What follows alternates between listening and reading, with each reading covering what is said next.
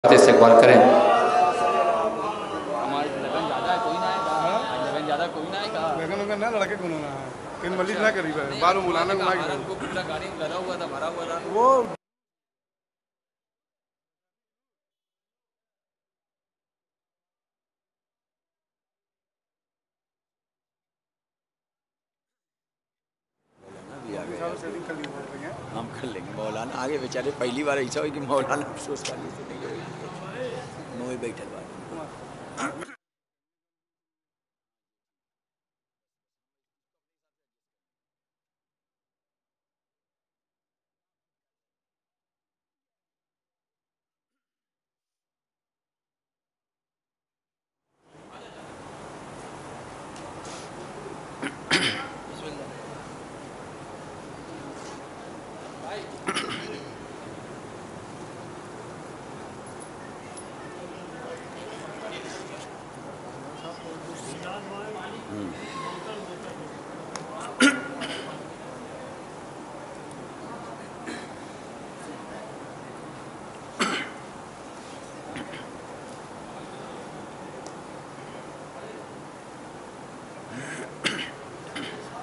सलवाद पढ़े मोहम्मद वाले मोहम्मद पर।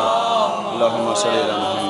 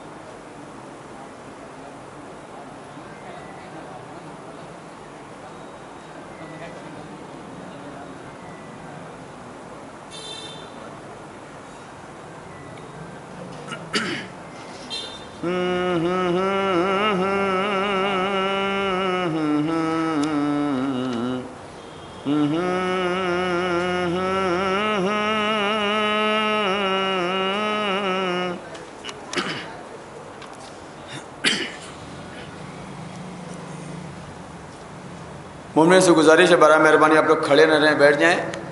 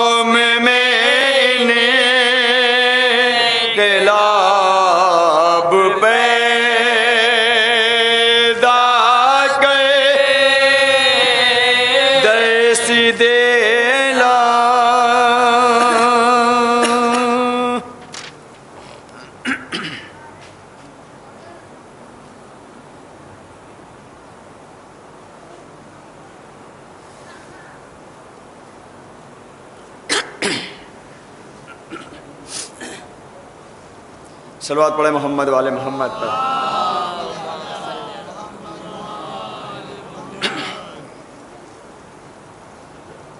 जरा चार मिसरे हालात हाजरा को नज़र में रखते हुए बिल्कुल नए मुलाजा फरमा लें, और अभी हकीकत ये कि इन लोगों ने भी नहीं सुना है। अभी इन लोगों को बयान में दिख गया, अब का हमारी मशकी हो जाएगी, कुछ नया भी हो जाएगा।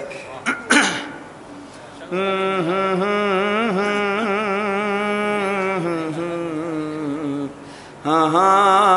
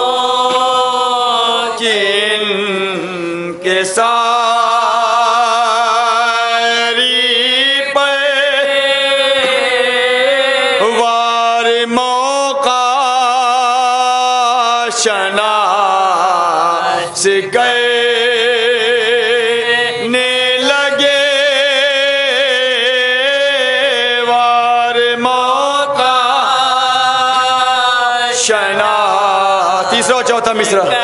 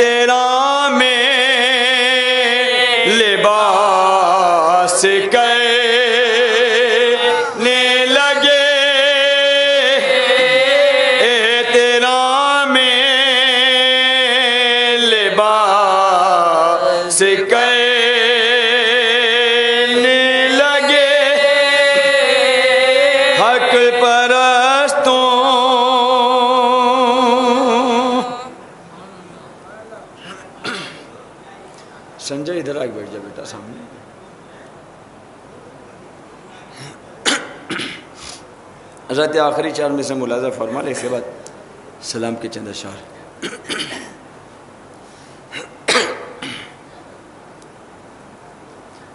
हो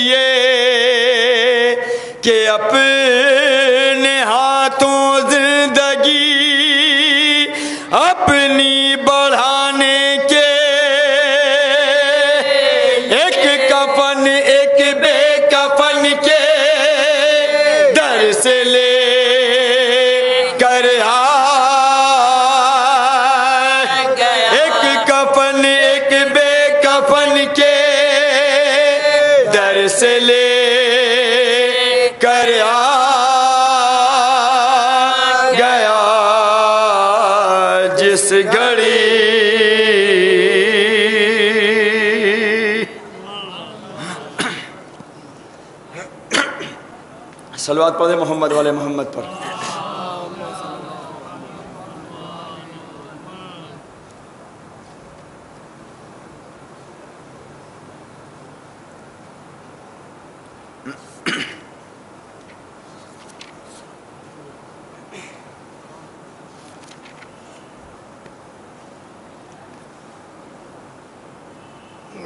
एक और सलवात पढ़े मोहम्मद वाले मोहम्मद पर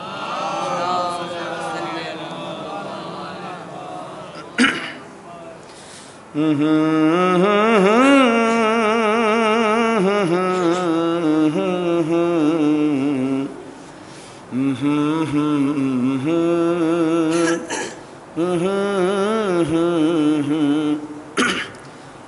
एक मतलब पाँच शेर हैं। बिल्कुल तरोताज़ा कलाम, चूँकि बादशाह से वादा किया था, उन्होंने कहा था कुछ कलाम का, ये तैयारी हो रही थी। हाजी साहब के यहाँ लेकिन उनके यहाँ चूँकि अब एक क्राइटेरिया बना दिया गया है तो 20 मिनट में ये सलाम और मरसिया मुमकिन नहीं है। इंशाल्लाह वहाँ ट्रेडिशनल ट्रेडिशनल सोस्खानी पुराने ज़माने की की जाएगी। वो हम अपना जो अरमान यहीं पूरा कर लेते हैं और इन्हीं लोगों को वहाँ भी रहना है।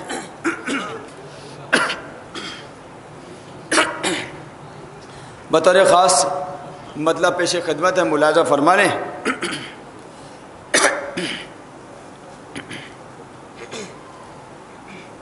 हालात हज़रा को नज़र में रखें। जो लोग मुझसे करीब हैं, वो इस मतले का ज़्यादा अच्छे से मतलब समझ सकते हैं। मुलाजा फरमा लें।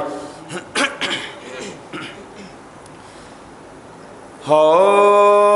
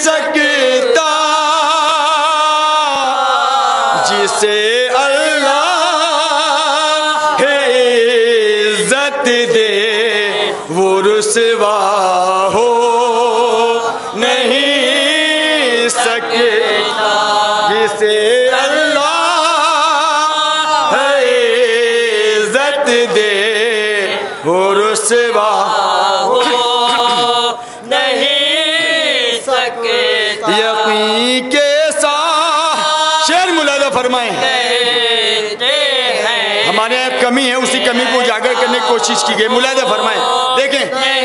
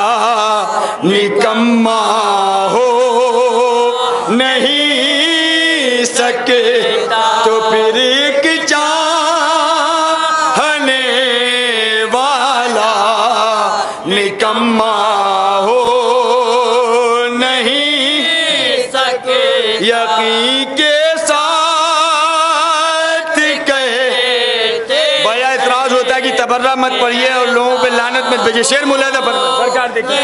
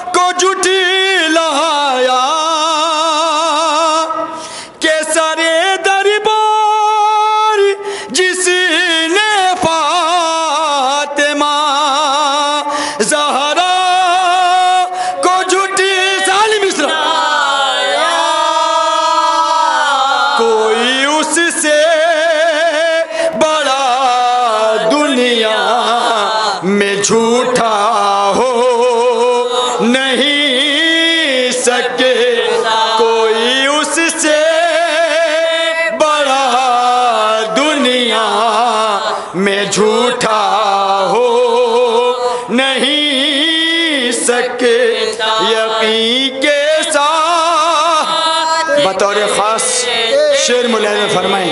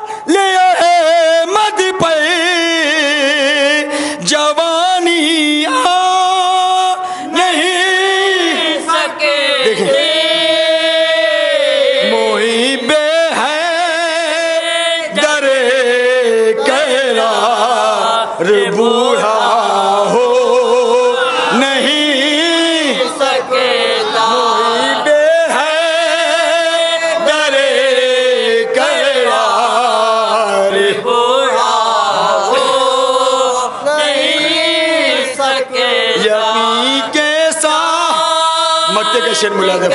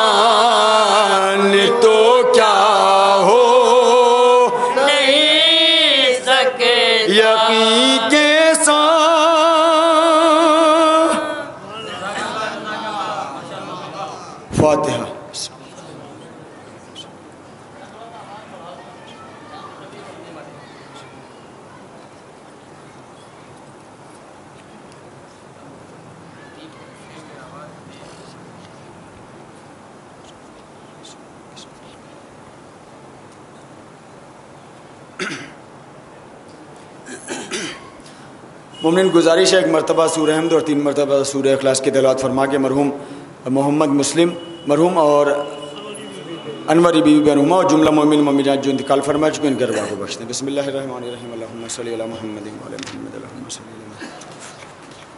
महमदी महमद महमद बसमिल्ल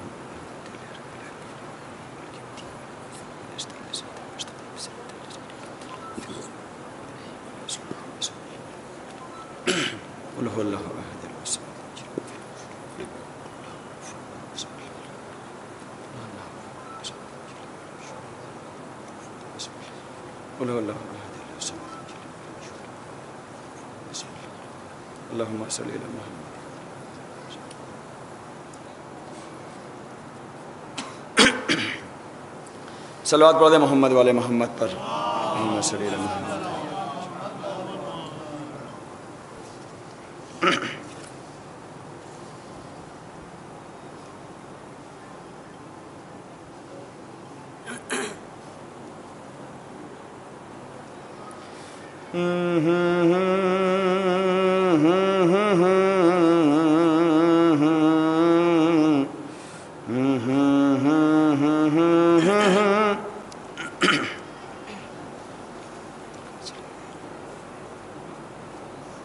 एक और सलवात पढ़ मोहम्मद वाले मोहम्मद पर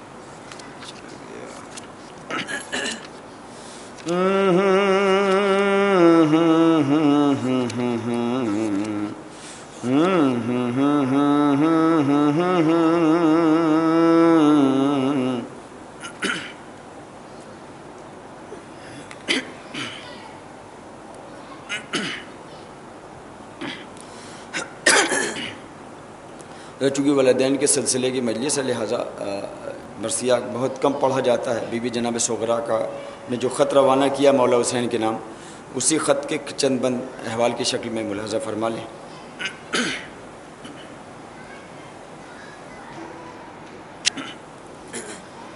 हो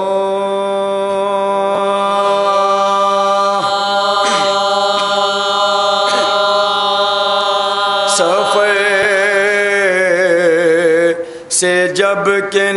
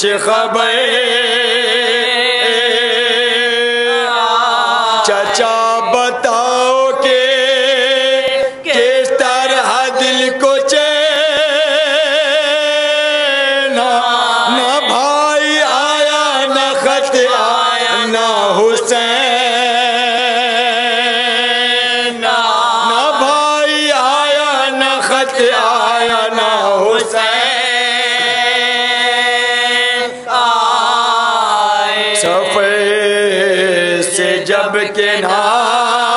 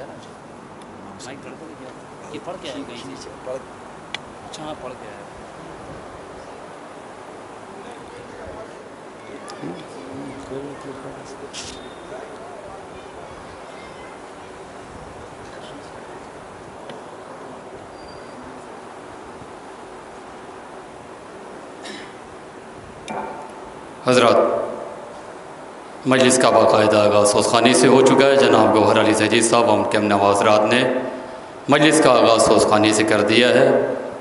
गालिबा ममिन के अजान आलिया तक आवाज़ पहुँच चुकी होगी कि मजलिस का आगाज़ हो चुका है।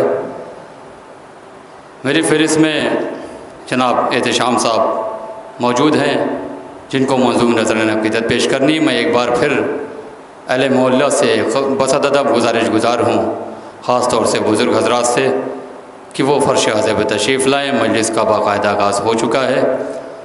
जनाब, एहतशाम साहब को आवाज़ देने से पहले एक ऐलान समात फरमा लें हज़रत, कि दो जुलाई बरोज़ एतवार सुबह आठ बजे इसी अज़ा खाने में मरहूम मोहम्मद, मरहूम मेहदी हसन इबन मोहम्मद हाशिम व मरहुमा मासूमा बीबी बिनते सैयद इफ्तार हुसैन, अहलिया मेहदी हसन मरहूम मजलिस मनद की गई है, मजलिस बरसी। इस मजलिस को खिताब फरमाएँगे हजरतलाम जना मौलाना सैयद मोहम्मद अकील हुसैनी साहब कबिला बनारस, दो जुलाई सुबह आठ बजे इसी हज़ा खाने में। अब मैं से आवाज़ दूँगा जनाब, एहतशाम जौनपुरी साहब को, कि सर जो शब्बीर की चौखट पे झुका देता है, अपनी पाकिज़ा तबीयत का पता देता है। सर जो शब्बीर की चौखट पे झुका देता है, अपनी पाकिज़ा तबीयत का पता देता है। हम अगर चाहें, हम अगर चाहें तो जन्नत का भी सौदा कर लें। हम अगर चाहें तो जन्नत का भी सौदा कर लें। इतना सरमाया हमें फ़र्श अज़ा देता है। इतना सरमाया हमें फ़र्श अज़ा देता है। इन्हीं मिसरों के साथ मैं गुजारिश गुजारूँ बेहतरीन लबो लहजे के शायर, छोटे भाई जनाब एहतशाम जौनपुरी साहब से कि वो तशरीफ़ लाएँ बरगा इमाम में मजूर नज़र पेश करें। बाबा से बुलंद सलवात पढ़ें आप, हज़रत अभी मजलिस का आगाज़ हुआ। है तनवीर भाई का हुक्म है कि यहीं से पढ़ा जाए। इसकी आवाज़ टकरा रही है तो आवाज़ जो है, खींच रहा है माइक बहुत ज़्यादा। और बिल्कुल तरोताज़ा कलाम जनाब गौहर साहब आपको बिल्कुल ताज़े ताज़े कलाम सुना रहे थे तो बिल्कुल ताज़े कलाम हमारे भी हैं, तनवीर भाई। और कई दिन से जो है, साइकिल चल रही थी, लेकिन देखिए कितना कामयाब होता है। पुरानी रदीफ़ है, लेकिन कुछ नया ख्याल है। हमसे बेहतर जनाब तनवीर साहब समझ सकेंगे। गौर भाई, मुलायदा फरमाए। पेश करता हूँ संजर भाई। मुलायदा फरमाए एक सलवात पढ़े मोहम्मद वाले मोहम्मद पर। आइए जनाब, शब्बीर साहब आगे आइए आप। एक सलवात और पढ़े मोहम्मद वाले मोहम्मद पर। मौलाना साहब आगे आ जाइए थोड़ा सा। थोड़ा थोड़ा और आगे और तशरीफ़ लाइए। लुलिन चाह थोड़ा और आगे आ जाइए आप। थोड़ा और आगे आ जाइए। आगे जगह है इतनी। और भाई मज़ा फरमाए।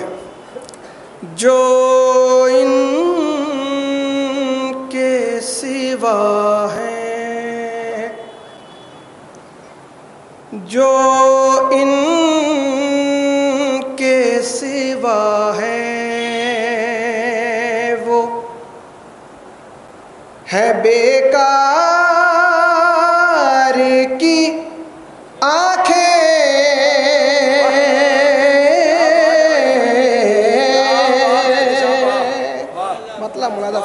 हुजूर मुलादा फरमाए जो इनके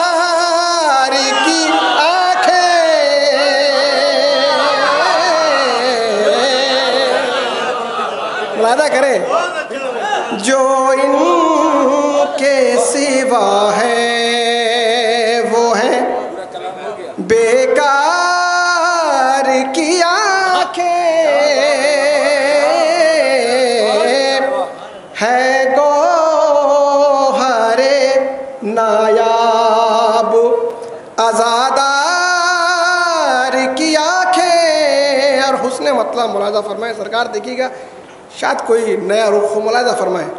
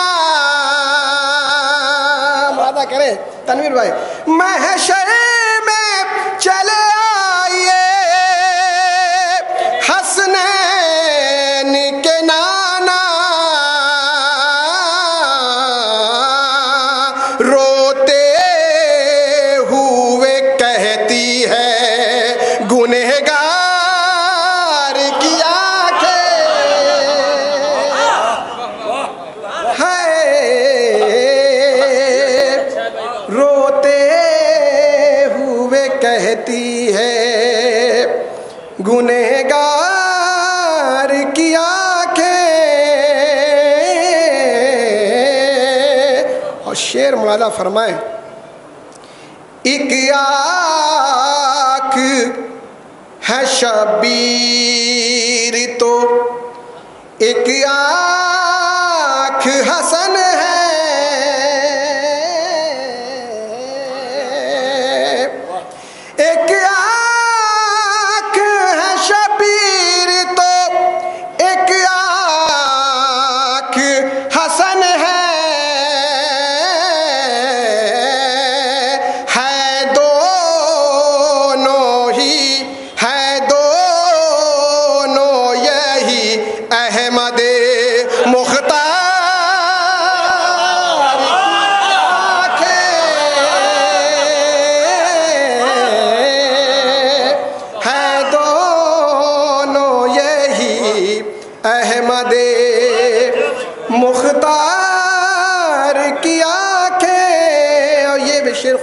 गौर मुलादा फरमाएँ गौर मुलादा फरमाएँगे। अब तक है झूकी तालिबे बैत की निगाहें। मुलादा फरमाए, अकबर चाह मुलादा फरमाए।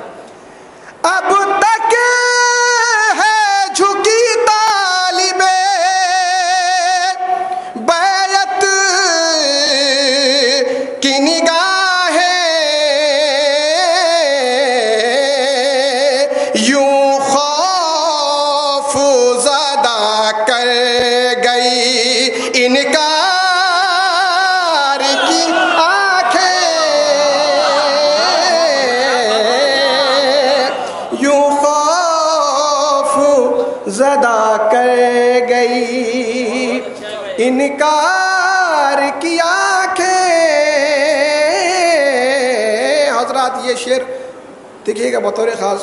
आज के हालात हाजरा पे शायद कोई नई रुख हो, नई बात मुलाजा फरमाएँ, बतौर ख़ास मुलाजा फरमाएँगे और भाई। और उसके बाद एक शेर आखिरी जहमत तमाम मुलाजा फरमाएँ सलवा तोड़ मोहम्मद वाले मोहम्मद पर। वो बात भी करता है तो आँखों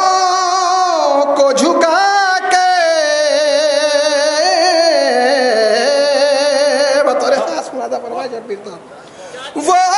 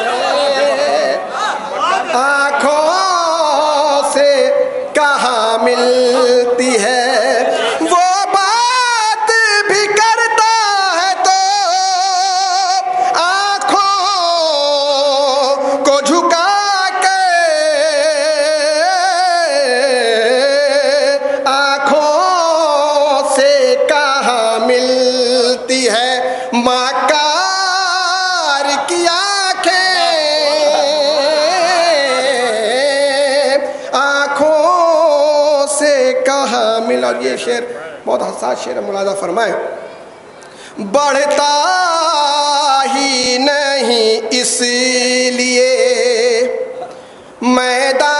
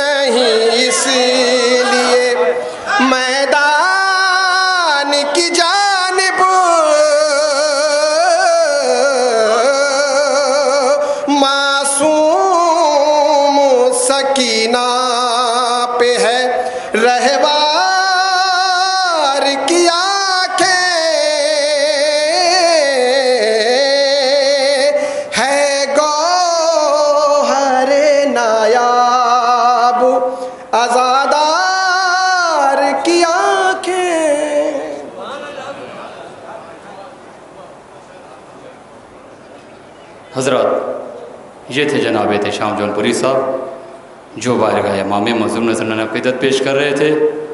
हज़रत, क्योंकि बहरहाल इस हकीर का भी नाम पेशखानी के एक छोटे से गोशे में है। लिहाजा मैं चाहता हूँ कि चंद अशार मैं भी पेश करूँ। एक सलवार पढ़ दें आप। हज़रत, सरकार वो चंद अशार पेश कर दे रहा हूँ। देखिएगा, बहरहाल इस मजमे के सामने कलाम पहली बार पेश कर रहा हूँ समात करें अगर मौलाना ने हौसला दिया तो इन पढ़ा जाएगा। मतलब ख़ास तौर से समात करेंगे। सितम का पल में जो पानी उतार देता है मतलब ख़ास और समाज करें मतलब में पहुँच जाएँगे तो पूरा कलाम इन सितम का पल में जो पानी उतार देता है, सितम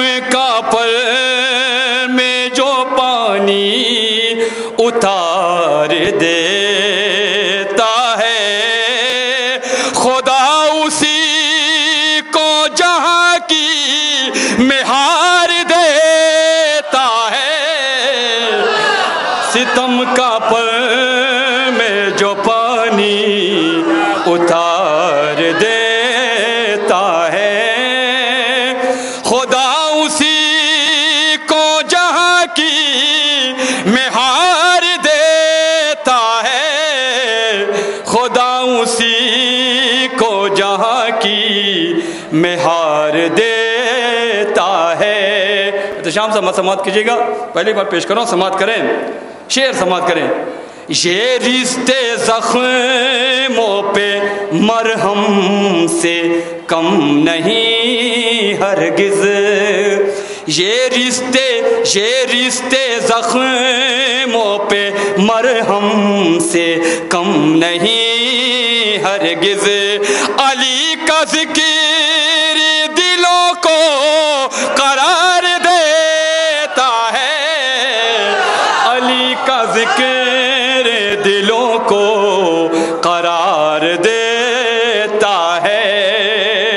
मंजिल तक लाऊँगा, समाप्त करें। अली का चाहने वाला खिलाफ सितम। अली का चाहने वाला खिलाफ सितम।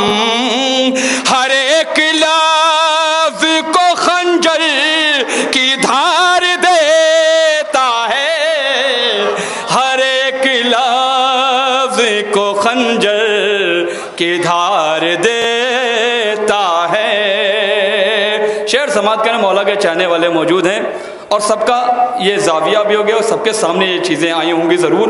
ये मेरा अपना मुशाहिदा है। ख़ास तौर से समाज करें, बतर ख़ास। जो एक पैसा भी देता है, नाम है दर पर।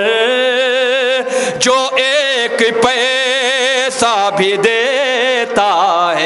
नाम है दर पर। फकीर उसी को दो हज़ार देता है। फकीर उसी को दुआएँ हज़ार देता है। फकीर उसी को दुआएँ हज़ार देता है। समात करें शेर। अली का इश्क सनद है, तहारत खू की। अली का इश्क सनद है, तहारत खू की। अली का ज़िक्र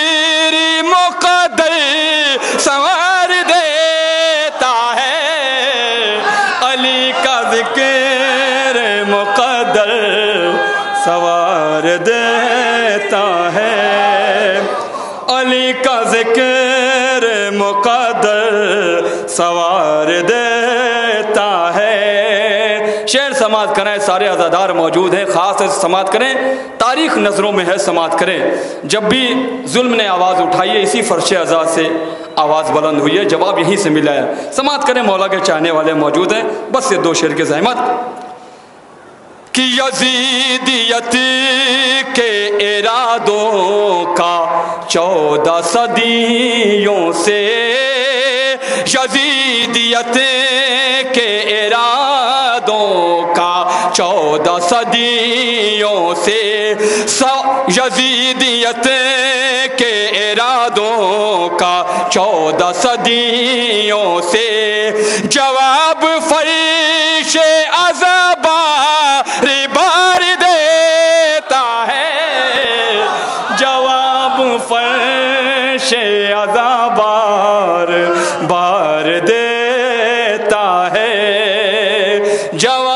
फर्श अजाबार बार देता है।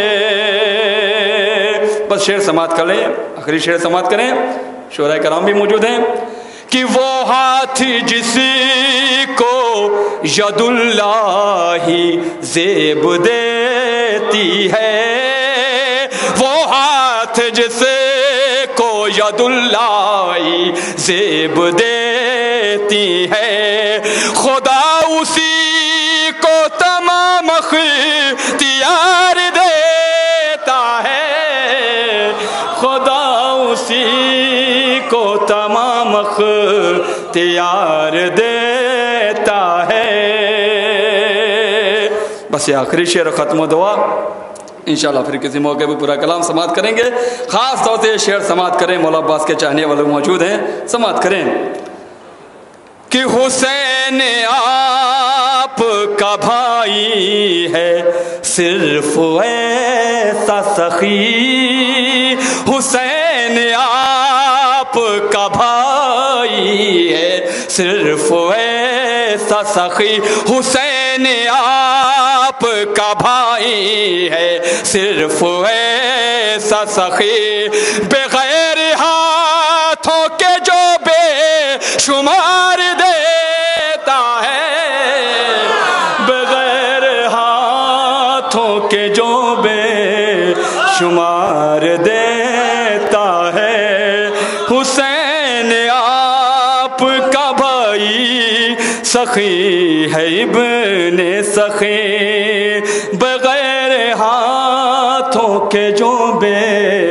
बेशुमार देता है। सलवात बर मोहम्मद वाल मोहम्मद।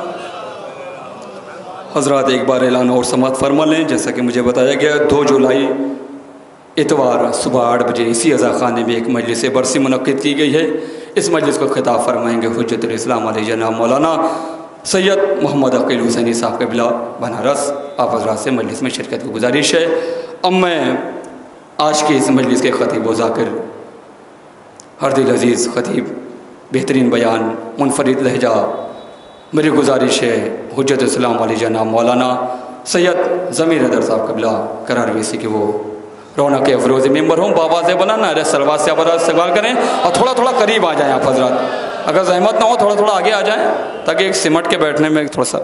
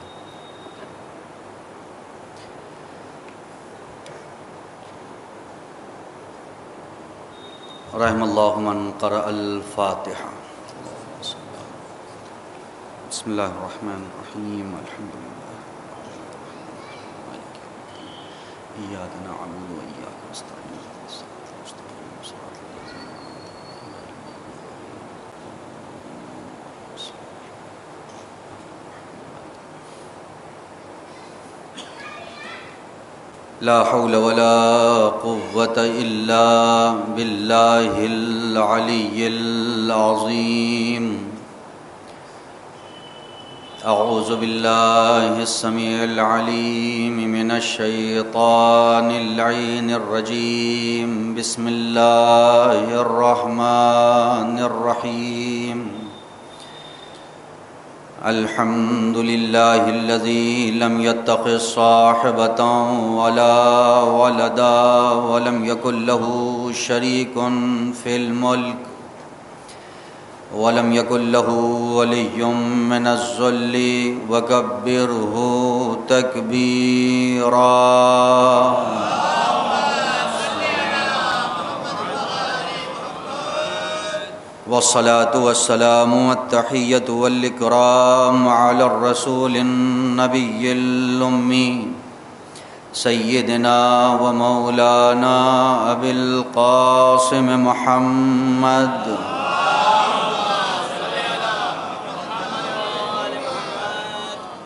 वालह तय्यबीन ताहिरीन अलमासूमीन वलानतुल्लाहि अला अदाइहिम अजमईन मिनल इला क़ियाम यौमिद्दीन अम्मा बाद फ़क़द क़ाल इमाम रज़ा अलैहिस्सलातु वस्सलाम बिस्मिल्लाहिर्रहमानिर्रहीम कुन मुहिब्बन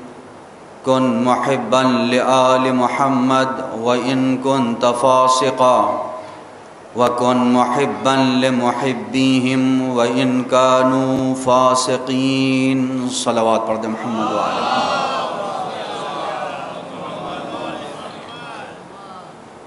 कलाम की इब्तदा में गुजारिश है सूर हमद और सूर अखलास की तलावत फरमा कर मरहूम मोहम्मद मुस्लिम इबन मोहम्मद हाशिम और मरहुमा अनवरी बीबी की अरवाह को इसाल फरमाएँ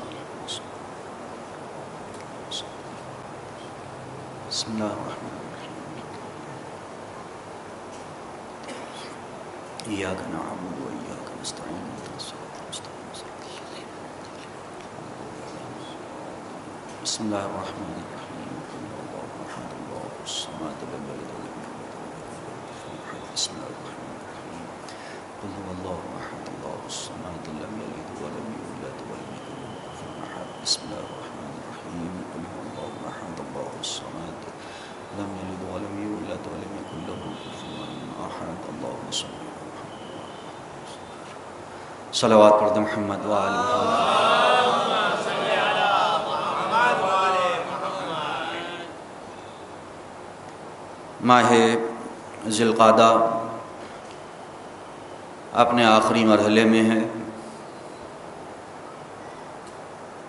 आज इस महीने की कितनी तारीख़ है? सत्ताईस तारीख़। बस दो दिन या तीन दिन इस महीने के बच्चे हैं। उमूमन मजलिसों में जो मुनासिबतें रहती हैं आसपास, मैं उसी उनवान से कुछ ना कुछ अर्ज़ करता हूँ ताकि हमें ये एहसास हो हम किन दिनों में ज़िंदगी गुजार रहे हैं। माह ज़िलक़ादा जो हमारे यहाँ औरतों के दरमियान खाली के नाम से मशहूर है, यानी जिस महीने में कुछ नहीं। खाली का मतलब कुछ नहीं।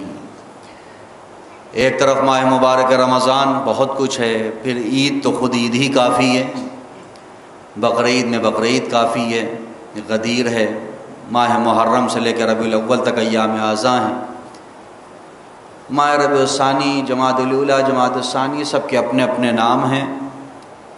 उनकी फहरिस्त में, लेकिन इस महीने का नाम क्या है? खाली। जबकि ज़मीन की इब्तदा हुई है तो इसी महीने से हुई। अभी जो 25 तारीख गुजरी है, रोज़े दाहवुलर्ज़ यानी जिस दिन अल्लाह ने ज़मीन को बिछाया, और बिछाया से मुराद ये है कि ज़मीन ने सबसे पहले अपना मुँह उस पानी से बाहर निकाला। रोज़ दाहवुलर्ज़ और रोज़ दाहवुलर्ज़ में भी बड़ी फ़जीलतें हैं और बड़े फ़ज़ाइल हैं। जो लोग उस दिन की आज़मत से आशना हैं, वो जानते हैं कि मफातिहजनार और दीगर कुतुब में जो अदिया की कुतुब हैं क्या क्या फ़जीलतें बयान हुई और फिर इसके अलावा जिसे हम खाली समझते हैं, हमारे आठवें इमाम इमाम रज़ा सलाम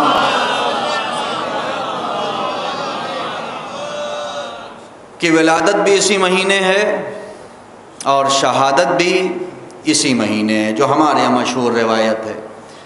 ग्यारह ज़िक़ात और तेईस ज़िक़ात इसके अलावा इमाम मोहम्मद तकी, यानी इमाम जवाद सलाम की शहादत उनतीस ज़िलक़ादा, जो अभी आने वाली है।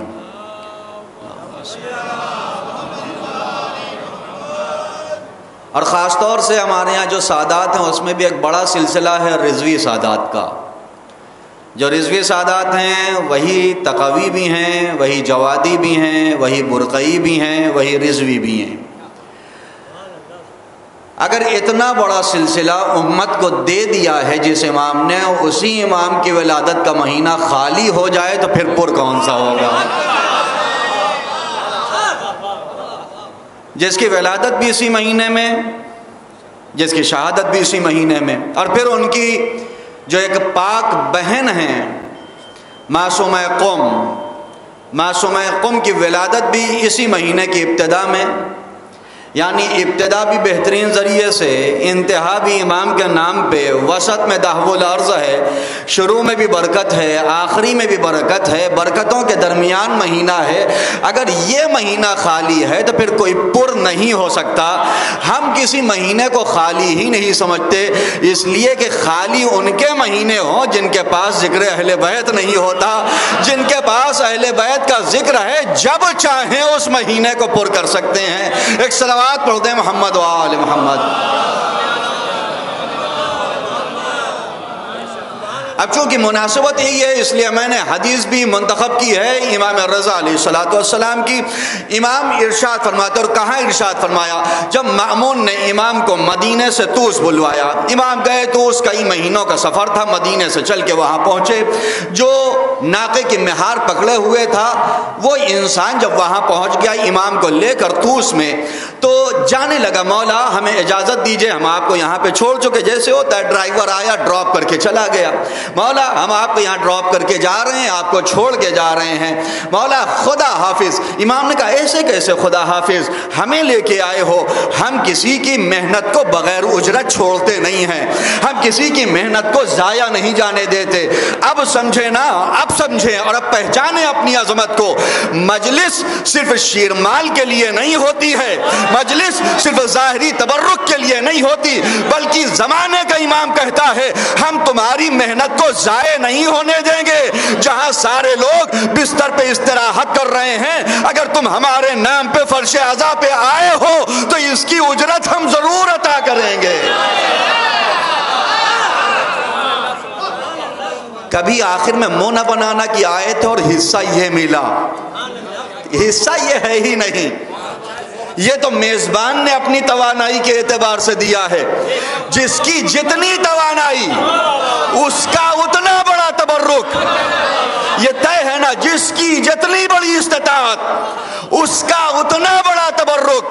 मेजबान की इस्तात ये थी, उसने दिया। इमाम की इस्तात का अंदाज़ा कौन लगा सकता है? इमाम की तवानाई का अंदाज़ा कौन लगा सकता है? हाँ मांगने का सलीका चाहिए। मांगने की रविश होनी चाहिए। हम आए किस लिए हैं? हमारा हदफ क्या है? हमारा मकसद क्या है? मौला ने कहा, सारबान होना तुम नाके की मिहार पकड़ के आए हो। ऐसे थोड़ी जाने देंगे। जो मामून ने दिया है, वो अलग। हमसे भी तो कुछ मांगो। होगा तो ये, होना तो यही चाहिए। दुनिया वाले बहुत सी ये कह देते कि अगर किसी जाकिर को पैसा दे दिया तो अब उजरत अल्लाह नहीं देगा, शाहजादी नहीं देंगी। इमाम क्या कह रहे हैं? मामून ने जो दिया वो अलग। हम भी तो कुछ देंगे तुम्हें। हम भी तो कुछ अता करेंगे। अरे जब एक ने दे दिया तो एक काम की दो उजरत कैसी?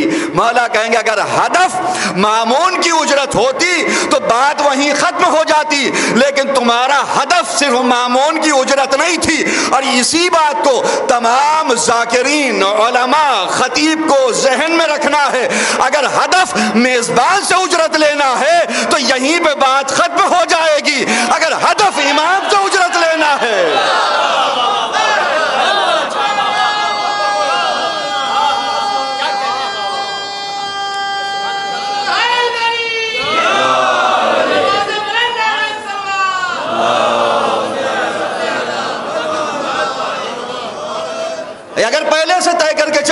मेजबान से लेना है वही हदफ। तो इसका मतलब उजरत एक बार। लेकिन अगर हदफ यह है कि रजा इमाम, हदफ यह है उजरत उनसे लेना है, हदफ यह है कि हम उनसे मांगेंगे तो एक काम की उजरत कई बार होगी। सब अता करेंगे। हर जात मुकद्दस अता करेगी। इसलिए कि बगैर, ये तो ऐसा काम है नहीं जिसकी उजरत पब्लिक तय कर ले। और जो पब्लिक तय कर लेती है, बात वहीं ख़त्म हो जाती है। बात वहीं तमाम हो जाती है। लेकिन जहाँ कुछ तय ना हो, वहाँ वो उजरत देते हैं। मौलाना का कुछ मांगो, हमसे मांगो। अच्छा हमसे अगर इमाम कहें कुछ मांगो तो हम क्या मांगेंगे? बात अजीब है। था सारबान, लेकिन बामारफत सारबान था। बामारफत नाके की मेहार पकड़ने वाला था।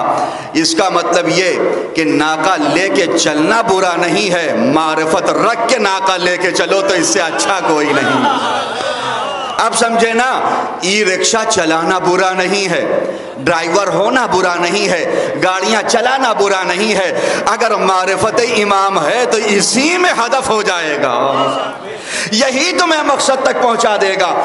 है सारेबान, मौलाना का कुछ मांगो। हम लोग जैसे होते। मौला दिरहमो दीनार दे दीजिए। मौला थैलियाँ दे दीजिए। मौला अशरफियाँ दे दीजिए। वापसी तक का हो जाए। जाए तो घर वालों का खर्च चल जाए। लेकिन उसने कुछ नहीं कहा। कहा, मौला, अगर कुछ देना चाहते हैं, कुछ अता करना चाहते हैं, एक जुमला कह दीजिए, जो दुनिया के लिए भी हो, आखिरत के लिए भी हो।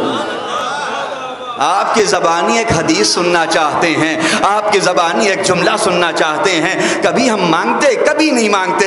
हम तो वो मांगते जो दुनिया में काम दे। उसने कहा मौला ये नहीं चाहिए, एक हदीस दे दीजिए। मौला एक जुमला दे दीजिए, जो यहाँ भी काम दे, जो मरने के बाद भी काम दे। मौला ने कहा कि बहुत अच्छी बात कही है तुमने, कलेजे से लगा लिया। और लगाने के बाद इस जुमले को कहा, जिसे मैंने उन्होंने कलाम करार दिया था।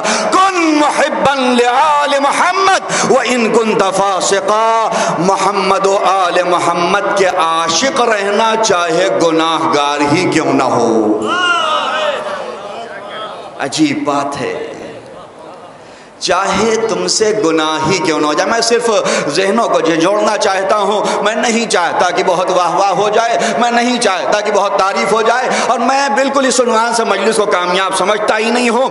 बल्कि कामयाबी यह है कि उस तारीफ़ के साथ जहन अंदर से झिझोड़ दिया जाए। हमारे कल्ब अंदर से बेचैन हो जाए। हम क्या हैं? मौला ने कहा कौन मोहब्बन मोहम्मद? व इन कुन फासिका?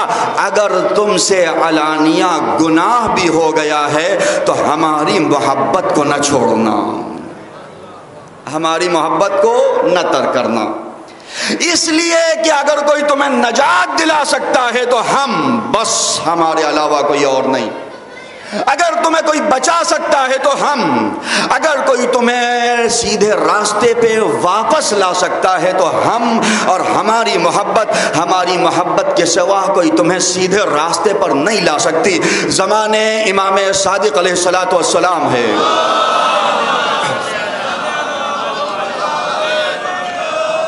और मैंने कहीं यहीं पे एक दास्तान अर्ज़ की थी, उस दास्तान को, कि इमाम का एक सहाबी है, नजाशी नाम है। सहाबी भी है कभी कभी पी भी लेता है। साथ में बैठता भी है और कभी कभी शराब भी पीता है, अजीब साथ में बैठने वाला है। अच्छा हमारे यहाँ अगर कोई ऐसा होता, मौलाना साहब के साथ कोई ऐसे साहब बैठते तो मौलाना ही साहब की इज़्ज़त उतार दी जाती कि कैसों को बिठाते हैं पास में। लेकिन इमाम क्या नहीं जानते थे? इमाम इमाम क्या नहीं समझते थे कि ये शराब पीता है, फिर मौला क्यों बिठा रहे हैं अपने पास? मौला आवाज़ दे रहे हैं, अगर इसे दोबारा कोई सीधे रास्ते पे ला सकता है तो हम, अगर हम ही छोड़ देंगे तो फिर इसे सीधे रास्ते पे कौन लाएगा?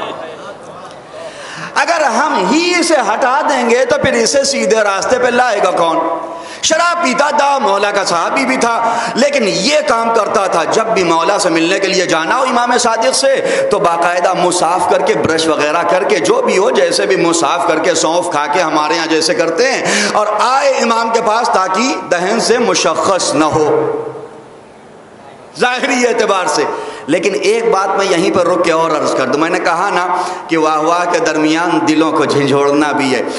वो शराब पीता था, लेकिन इतना सलीका था कि बस में इमाम में जाना है तो इस मुँह के साथ नहीं जाना। बस में मासूमीन में जाना है तो इस मुँह के साथ नहीं जाना, दहन साफ़ करके जाना है। मुँह साफ़ करके जाना है। मुँह में दबा के नहीं जाना, मुँह में साइड में रख के नहीं जाना।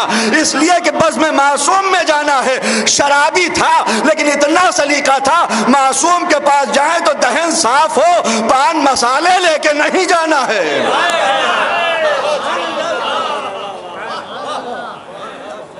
बस में मासूम में है ना? कैसे जाएँगे?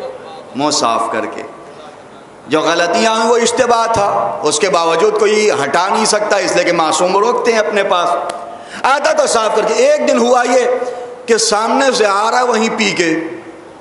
इधर से मौला आ रहे हैं। गली ऐसी है कि बंद गली है, ना इधर जा सकते हैं ना उधर जा सकते। हैं निगाहें चार हो चुकी हैं।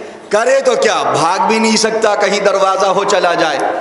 वो आ रहा है उधर से, इधर से जा रहे इमाम सादिक। जैसे ही उसने देखा मौला करीब आ गए, उसने दीवार की तरफ़ रुख किया और ऐसा इजहार किया जैसे अपना इजारबंद ठीक कर रहा हो। हम दीवार की तरफ़ मुँह करेंगे, रुख कर लेंगे, मौला पीछे से निकल जाएँगे, हम आगे बढ़ जाएँगे। लेकिन वो खुद कहता है, मुझे थोड़ी देर के बाद महसूस हुआ मेरे कांधे पे किसी का हाथ है। कांधे पे हाथ आया और हाथ आने के बाद इमाम का हाथ था, इमाम ने एक जुमला कहा, अगर कभी गुनाह भी कर लो तो हमसे मुँह न मोड़ना। इसलिए कि अगर हमसे मुँह मोड़ लिया तो दोबारा तुम्हें कौन नजात दिलाएगा? तारीख कहती है, इस दिन के बाद से नजाशी ने तौबा कर लिया, फिर कभी शराब को हाथ नहीं लगाया। एक बार गुनाहगार को गुनाह करने के बाद जो भगा दे, वो हम होते से निकाल ले, उसे इमाम कहा जाता है। एक सलावात पढ़ दे मोहम्मद वाल मोहम्मद। और मैं जो पैगाम देना चाहता हूँ सब के लिए, कभी किसी को ना कहो किसके साथ उठते बैठते हो, किसको अपने पास बिठाते हो, ये तो ये गुनाह करते, ये ये गुनाह करते, ये फला काम करते। करते हैं, लेकिन अगर आप छोड़ देंगे तो उन्हें लेके कौन आएगा इस रास्ते पर? अगर हम छोड़ देंगे तो फिर कौन उन्हें लेके आएगा? बहुत से लोग होते मौलाना साहब, वो फला मौलाना है। ऐसे ऐसे लोगों के साथ बैठते जो महल्ले के बिल्कुल ख़ास अफराद हैं, और उन्हीं के साथ बैठते हैं। और बाकायदा वो मौलाना साहब की भी इज़्ज़त उतारी जाती, क्यों बैठते हैं इनके साथ? देखिए, समाज में कुछ अफराद ऐसे होते हैं जो मुकद्दस नहीं होते, मुकद्दस नुमा होते हैं। जो मुकद्दस नहीं होते मुकद्दस नुमा होते हैं, जो चाहते ये हैं कि मौलाना सिर्फ़ मेरे साथ बैठे, किसी के साथ ना बैठे। उन्हें मालूम नहीं है कि अगर इमाम हुसैन सिर्फ़ हबीब के साथ बैठेंगे तो हुर को हुर कौन बनाएगा।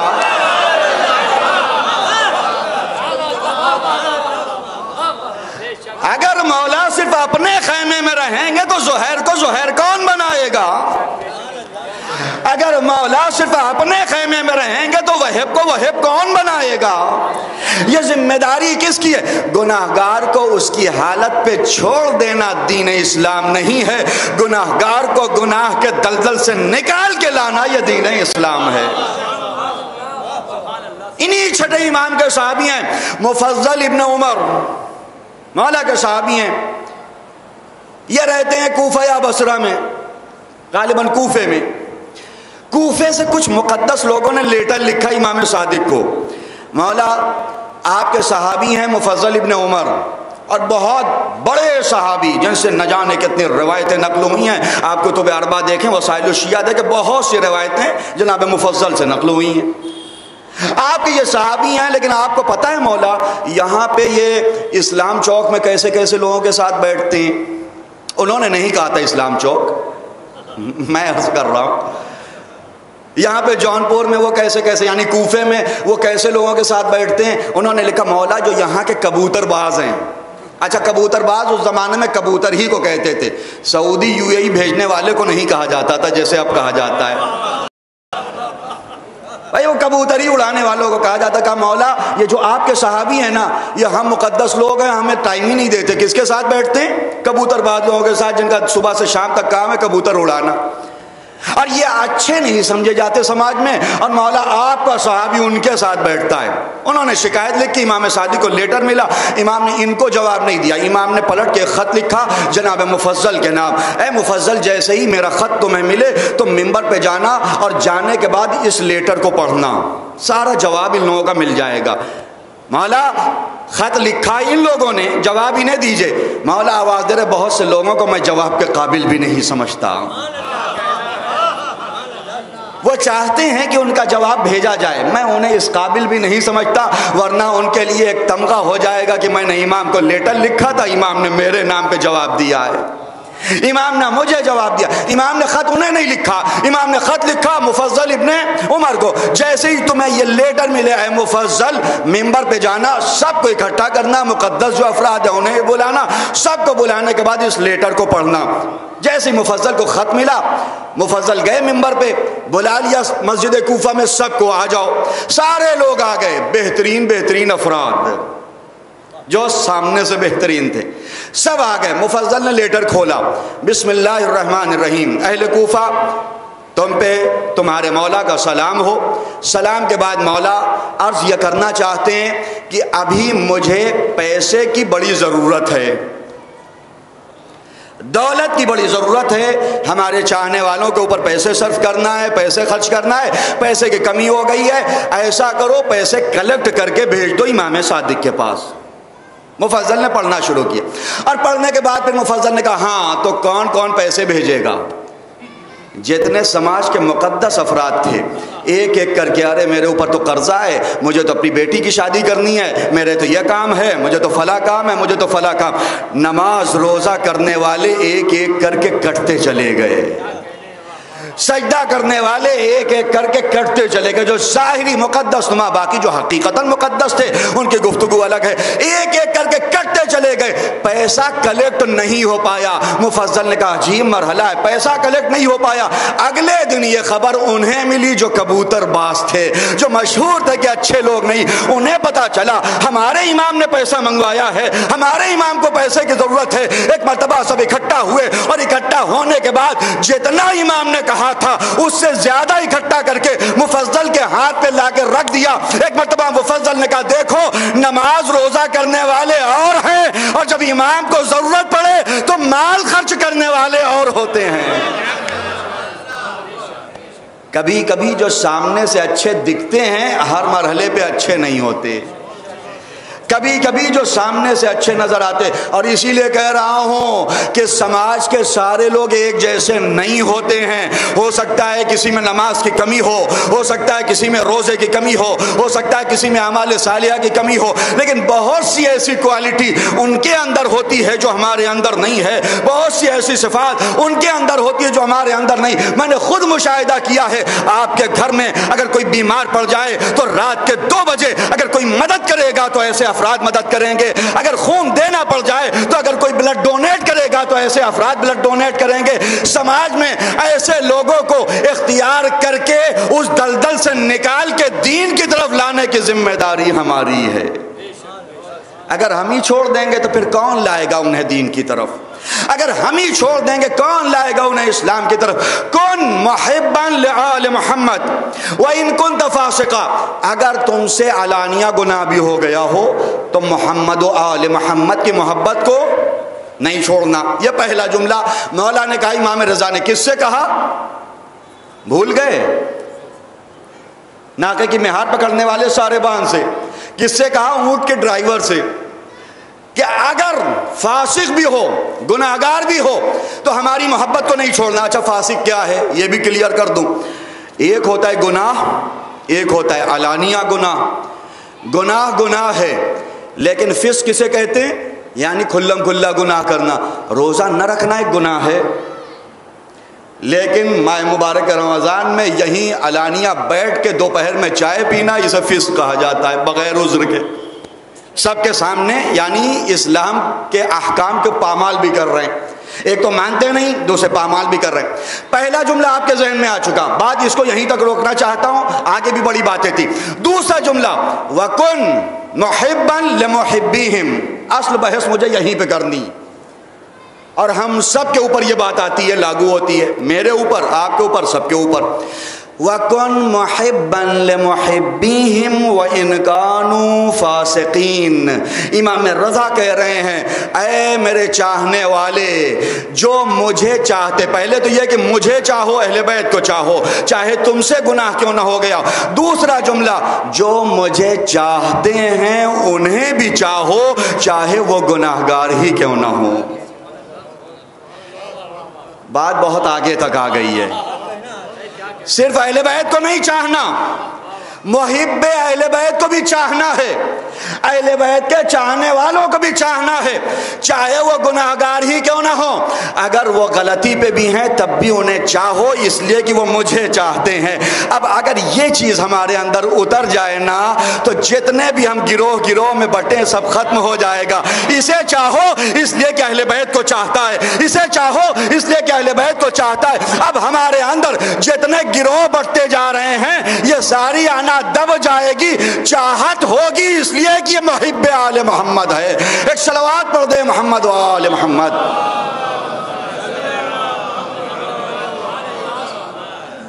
आप समझे, अब ये नहीं हो सकता, हम अपनी अंजुमन वाले को चाहेंगे बस।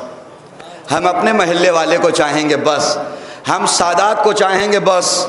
हम गैर सादात को चाहेंगे बस। हम सिर्फ़ खान को चाहेंगे, बस। ये बस हो ही नहीं सकता। हमारी चाहत इसलिए नहीं कि हमें अच्छा लगता है। हमारी चाहत इसलिए है कि इसे अहले बैत अच्छे लगते हैं। हमारी चाहत इसलिए है कि इसे मोहम्मद आल मोहम्मद अच्छे लगते हैं। अपनी अना को ताक पर रख के उसे इसलिए चाहो कि वो अहले बैत को चाहता है। अगर इसलिए चाहे कि वो अहले बैत को चाहता है तो अहले बैत इसलिए चाहेंगे कि तुम उनके चाहने वालों को चाहते हो। अब कौन बचेगा? है कोई जो बच जाए? हम लोग तो क्यों नहीं चाहते? नहीं, थोड़ा सा हमसे अलग है ये। थोड़ा सा हमसे जुदा है ये। और मैंने अपनी कई मजलिसों में इस बात को अर्ज़ किया है कि हमारे यहाँ वही होता है, अंजुमन में बैठ के कहते नहीं, बस हमें एक अंजुमन वाले, बस। अंजुमन बाजी बुरी नहीं अगर कभी आपने सुना मजलिस में कि अंजुमन बाजी बुरी नहीं बहुत अच्छी चीज़ है। बहुत बेहतरीन चीज़ है। लेकिन वो अंजुमन बाजी ना हो जो हम करते हैं। अंजुमन बनना बहुत अच्छी चीज़ है। करबला में इमाम हुसैन ने भी तीन अंजुमनें बना दी थी। करबला में इमाम हुसैन ने तीन हिस्सा बांट दिया था। अब उसे आप हिस्सा कहते हैं चाहे अपनी जबान में अंजुमन कह दें। ऐ जोहैर, मैं मना तुम्हारे हवाले है। ऐ हबीब मैसरा तुम्हारे हवाले है। अय अब्बास अलमदार कल्ब लश्कर तुम्हारे हवाले है। यानी ये लश्कर बहत्तर है, तीन हिस्सों में बढ़ गया है। लेकिन इसके बावजूद जब तस्करा होता है तो मैमना मैसरा का तस्करा नहीं होता, बहत्तर का एक साथ होता है।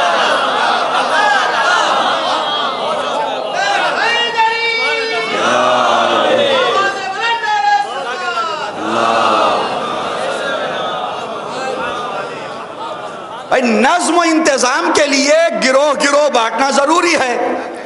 वरना एक नौहा खान नौहा पढ़े और दो किलोमीटर की सफ लग जाए तो आवाज़ ही ना पहुंचेगी और ताल भी नहीं बैठ पाएगा, हाथ भी नहीं बैठ पाएँगे। नहीं बैठ पाएँगे हाथ। नज्म के लिए अंजुमन बनाना ज़रूरी है, लेकिन जब बाहर का आदमी देखे तो उसे बहत्तर एक जैसे नज़र आए हैं। चौराहे पे जाके ये ना हो कि पहले हम पढ़ेंगे, पहले हम पढ़ेंगे। नहीं, वहाँ पहले पढ़ने के लिए मुसाबिका नहीं हो रहा था करबला में। पहले जहाद के लिए मुसाबिका हो रहा था। पहले कुर्बानी के लिए मुसाबिका हो रहा था। रजाए हुसैन का मुसाबिका था, अपनी अना का मुसाबिका नहीं था। आप कितना भी पहले पढ़ लें। अगर इमाम हुसैन के लिए है तो शाहजादी हैं उस सफ में। अगर इमाम हुसैन के लिए नहीं है तो आप आगे चले जाएँ, शाहजादी उनके साथ आएँगी जिन्होंने अपनी कुर्बानी दी है। जिन्होंने अपनी अना को कुर्बान किया। वक्न महबी महब्बीहिम। व इनकानू फासिकीन, अहल बैत के चाहने वालों को भी चाहना, चाहे वो फासिक क्यों ना हो, चाहे वो गुनाहगार क्यों ना हो, चाहे उनसे ख़ताएँ क्यों ना हो गई हों। और इसीलिए एक और मैं याद ये दे रहा हूँ आपको, अहल बैत का चाहने वाला, चाहे जितना गुनाहगार क्यों ना हो, अहल बैत का दुश्मन, चाहे कितना मुतकी परहेजगार क्यों ना हो, उसके मुकाबले में ये कहीं ज़्यादा महबूब है हमें।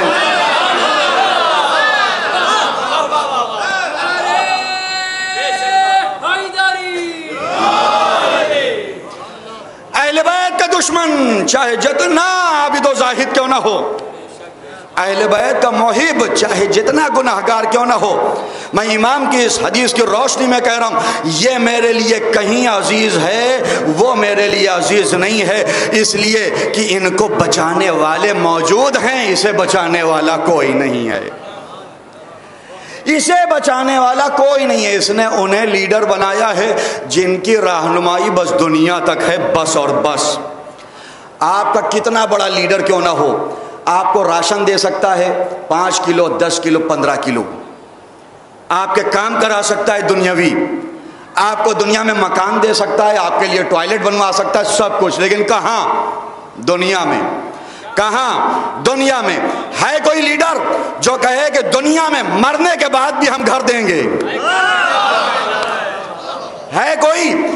जितने भी आवास योजनाएँ होती हैं, दुनियावी लीडर की वो दुनियावी आवास होते हैं। ये घर देंगे। अच्छा घर दे दिया, हम कितने साल रहेंगे?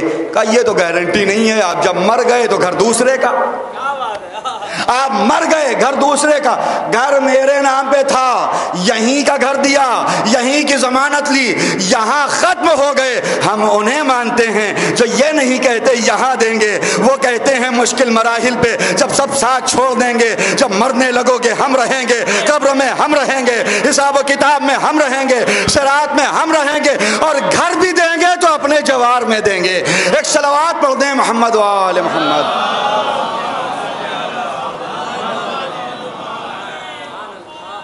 वकन मोहब्बन लमहबिम व इनकानो फासिकीन अहल बैत के चाहने वालों को भी चाहना चाहे वो फासिक ही क्यों न हो कैसे चाहा जाता है इश्क अहल बैत के चाहने वालों से कैसे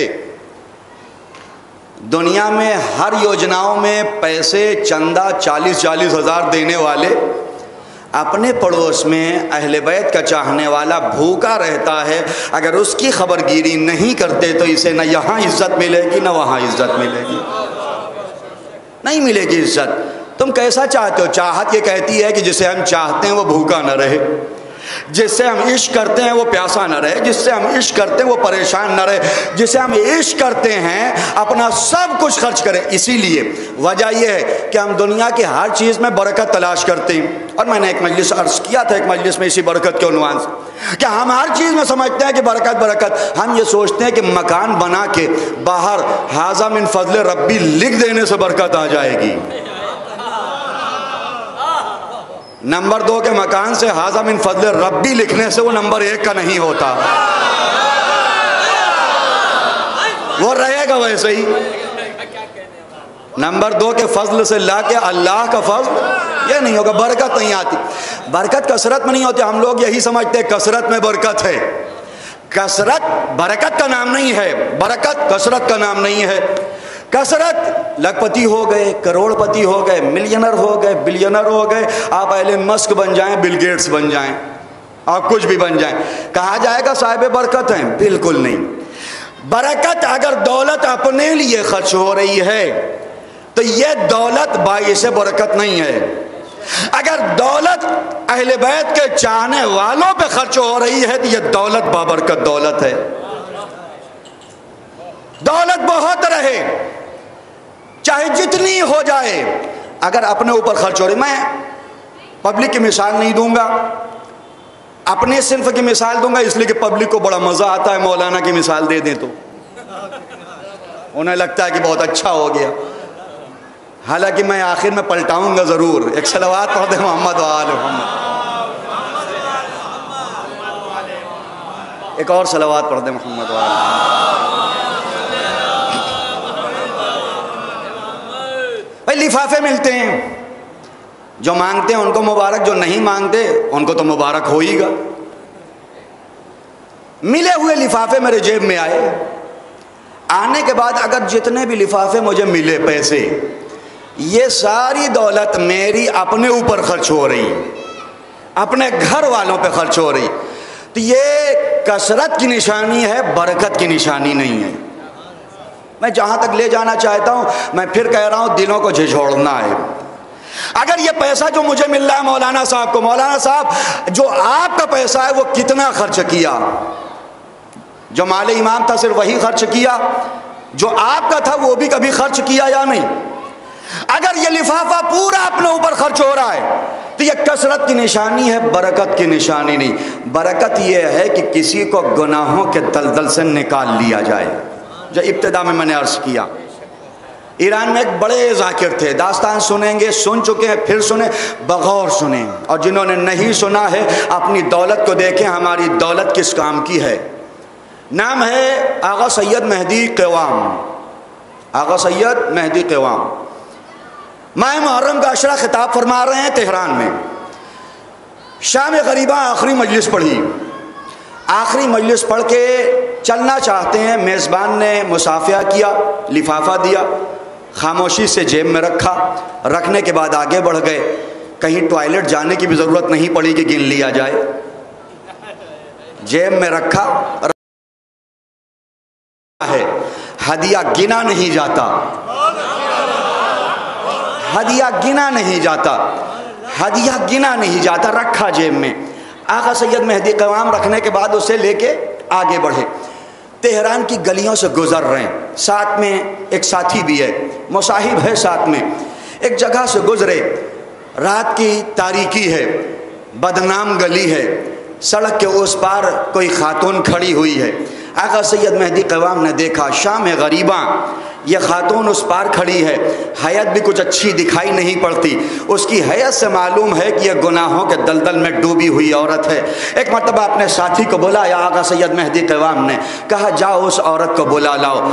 उन्होंने देखा आका की तरफ़, कहा, आका, वो आपके काम की औरत नहीं है। वो औरत गुनाहों वाली औरत है। वो औरत गलत रास्ते पर चलने वाली औरत है। आका ने कहा, नहीं, जाओ, बुला के ले आओ। वो गया। जाने के बाद कहा, चलिए। वो सामने जो मौलाना साहब रोड के उस तरफ़ हैं, वो आपको बुला रहे हैं। उस औरत ने देखा दूर से, कहा, जाओ मौलाना साहब से कह दो, उन्हें गलती हो गई, उन्हें इश्तबा हो गया है। हाँ ये उम्मत चाहे जैसी हो जाए, इसे अभी भी अपने आलिम पे भरोसा है। इस आलिम की ज़िम्मेदारी है कि इस भरोसे को टूटने ना दें। की ज़िम्मेदारी है, इन भरोसे को टूटने न दें, इस एतमाद को टूटने न दें। उसने कहा, नहीं, जाओ कह दो, उसे तो पैसे चाहिए ना, वो आ जाती। कहा, नहीं, जाओ कह दो, मैं अलग रास्ते की औरत हूँ, वो मौलाना साहब हैं, वो रूहानी हैं, वो परवरदिगार के रास्ते पे चलने वाले हैं। कहा, नहीं, आगा आपको बुला रहे हैं। वो औरत आई, रोड क्रॉस करके आई, आगा सैयद मेहदी कवाम के पास, आगा सर को झुकाए हुए हैं, एक मरतबा जेब से उसी लिफाफे को निकाला, जो अभी दस दिनों की मेहनत के बाद मिला है। कौन है जो इस लिफाफे को निकालेगा। निकाला और निकालने के बाद कहा, ए मुआजमा हाथ आगे कर। उसने हाथ आगे किया, लिफाफे को उसके हाथ पे रखा का वादा करो, ये हुसैन की अमानत है। जब तक तुम्हारे पास रहेगी, कभी गलत रास्ते पे नहीं जाओगी।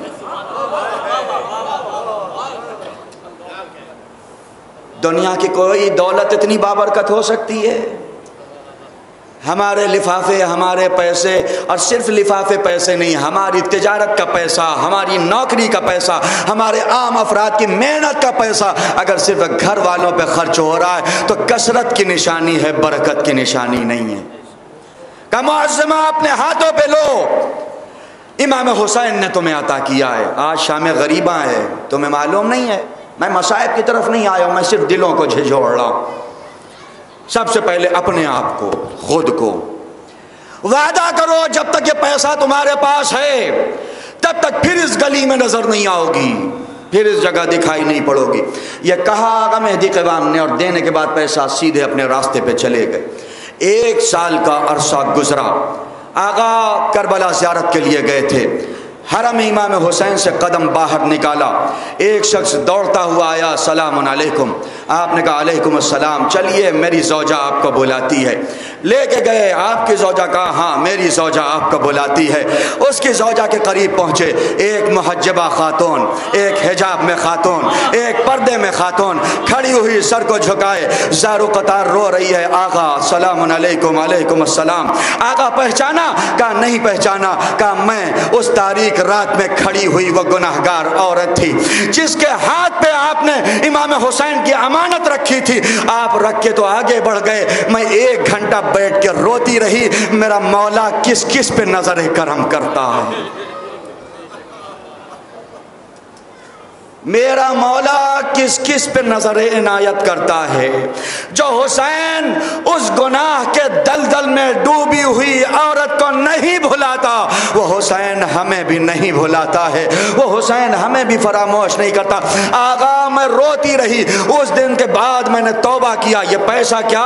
मैं दोबारा कभी इस राह में कदम नहीं रखूँगी। मैं गई अल्लाह की बारगाह में तोबा किया। नतीजा यह हुआ कुछ दिनों के बाद तेहरान के एक बड़े बिजनेसमैन, ये जो साहब हैं। इनका रिश्ता मेरे लिए आया। मेरी शादी हो गई और एक साल के अंदर हुसैन ने उस जगह से उठा के करबला बुला लिया। अगर दौलत बैंक बैलेंस की सूरत में बैंकों में रखी सड़ रही है तो यह दौलत किसी काम की नहीं। अगर दौलत किसी को गुनाहों से निकाल रही है तो यह हाज मेहदी कवाम की दौलत है। एक सलवात पढ़ दे मोहम्मद वाल मोहम्मद। एक और सलवार पढ़ने मोहम्मद वाल।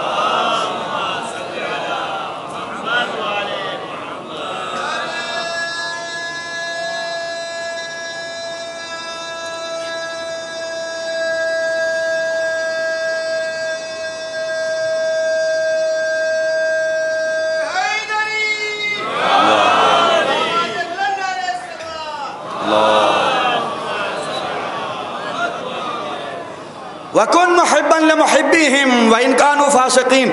अय मेरे चाहने वाले, जो जो भी मुझे चाहता है, उसे इसलिए चाहो कि वो मुझे चाहता है।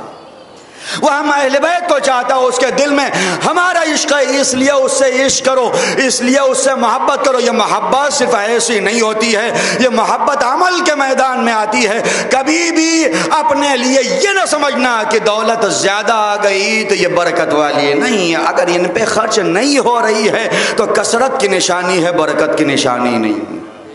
वैसे ही खातन में, औरतों में, आप किसी से पूछें, कितना है आपके पास जेवर? दो तोला, दस तोला, पच्चीस तोला, पचास तोला। इतना ज़्यादा दो सौ ग्राम हमारे पास है, आधा किलो है। कहाँ है? कहा वो तो लाकर में रखा हुआ है। पूरी उम्र में कितनी बार पहना? पूरी उम्र में जो जेवर होता है, औरतें कितनी बार पहनती। अब तो आर्टिफिशियल का दौर चल रहा है, अब उसे निकालती भी नहीं। क्या है? वो रखा हुआ है, लॉकर में रखा हुआ है, लॉकर में रखा हुआ पूरी उम्र में पाँच, दस बार निकलेगा, बस। क्या है कि एतबार विषय जो रखी हुई है, ये कसरत की निशानी है, बरकत की निशानी नहीं है। बरकत क्या है? हम लोग सिर्फ़ सुनते हैं, खुश हो जाते हैं। हम ये सोचते हैं कि अहले बैत को सिर्फ़ परवरदिगार ने अता किया था, इसलिए वैसे थे। नहीं, उनके अंदर क्वालिटी थी, तब अता किया था। उनके अंदर क्वालिटी थी, तब अता किया था। और आपके शायद यहीं इस्लाम चौक में बहुत पहले मैंने एक मिसाल अर्ज़ की थी कि क्वालिटी होती है तभी अल्लाह अता करता है। एक साहब तो कहते थे कि मौला अली का क्या कमाल है, बाब खैबर उठा लिया, अल्लाह हमें ताकत दे, हम भी बाब खैबर उठा ले। वही सोचने वाली बात है। मौला ने खुद ही कहा कि मैंने इंसानी ताकत से नहीं उठाया, मैंने अल्लाह की दी हुई ताकत से उठाया तो अगर अल्लाह आपको दे दे तो भी जहनों में आ सकता है कि हम भी उठा ले। नाउजुबिल्ला, हम भी उठा ले। अल्लाह सलाहियत देख के एजाज देता है। अल्लाह सलाहियत देख के एजाज देता है। एक मिसाल मैंने अर्ज़ की थी मुझे याद नहीं है ना मैंने कहाँ अर्ज़ की थी। मिसाल अर्ज़ की थी कि जैसे बड़े बड़े गेम होते हैं, आजकल बड़े गेम है। अब गेम है, सब सरफर टाइप के, या आजकल पबजी खेलते हैं बच्चे। जवान। पबजी खेला करते बच्चे।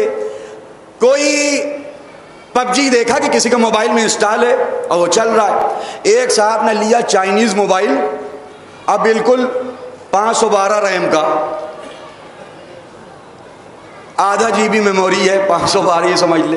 प्रोसेसर भी खराब है उसका। और लेके गए दुकान पे, इस पर पबजी इंस्टॉल कर दीजिए। तो पहले कहेगा, भाई, इसके अंदर सलाहियत ही नहीं है कि पबजी इंस्टॉल हो। भाई, इसके अंदर सलाहियत ही नहीं। कहा, नहीं, इंस्टॉल कर दीजिए। कहा, सलाहियत नहीं है। लेकिन जब ज़्यादा जिद जिद करते हैं तो कहा, ठीक है, दुकानदार को तो पैसा चाहिए। उसने कर दिया इंस्टॉल। इंस्टॉल कर दिया है खोले, पहला ही पेज खुला था कि हैंग कर गया। मतलब अगर सलाहियत नहीं होती है और ज़बरदस्ती इंस्टॉल कराओ तो हैंग होने लगता है। अब मसला समझे, अब मसला समझे, उनतालीस दिन तक बराबर हैंग क्यों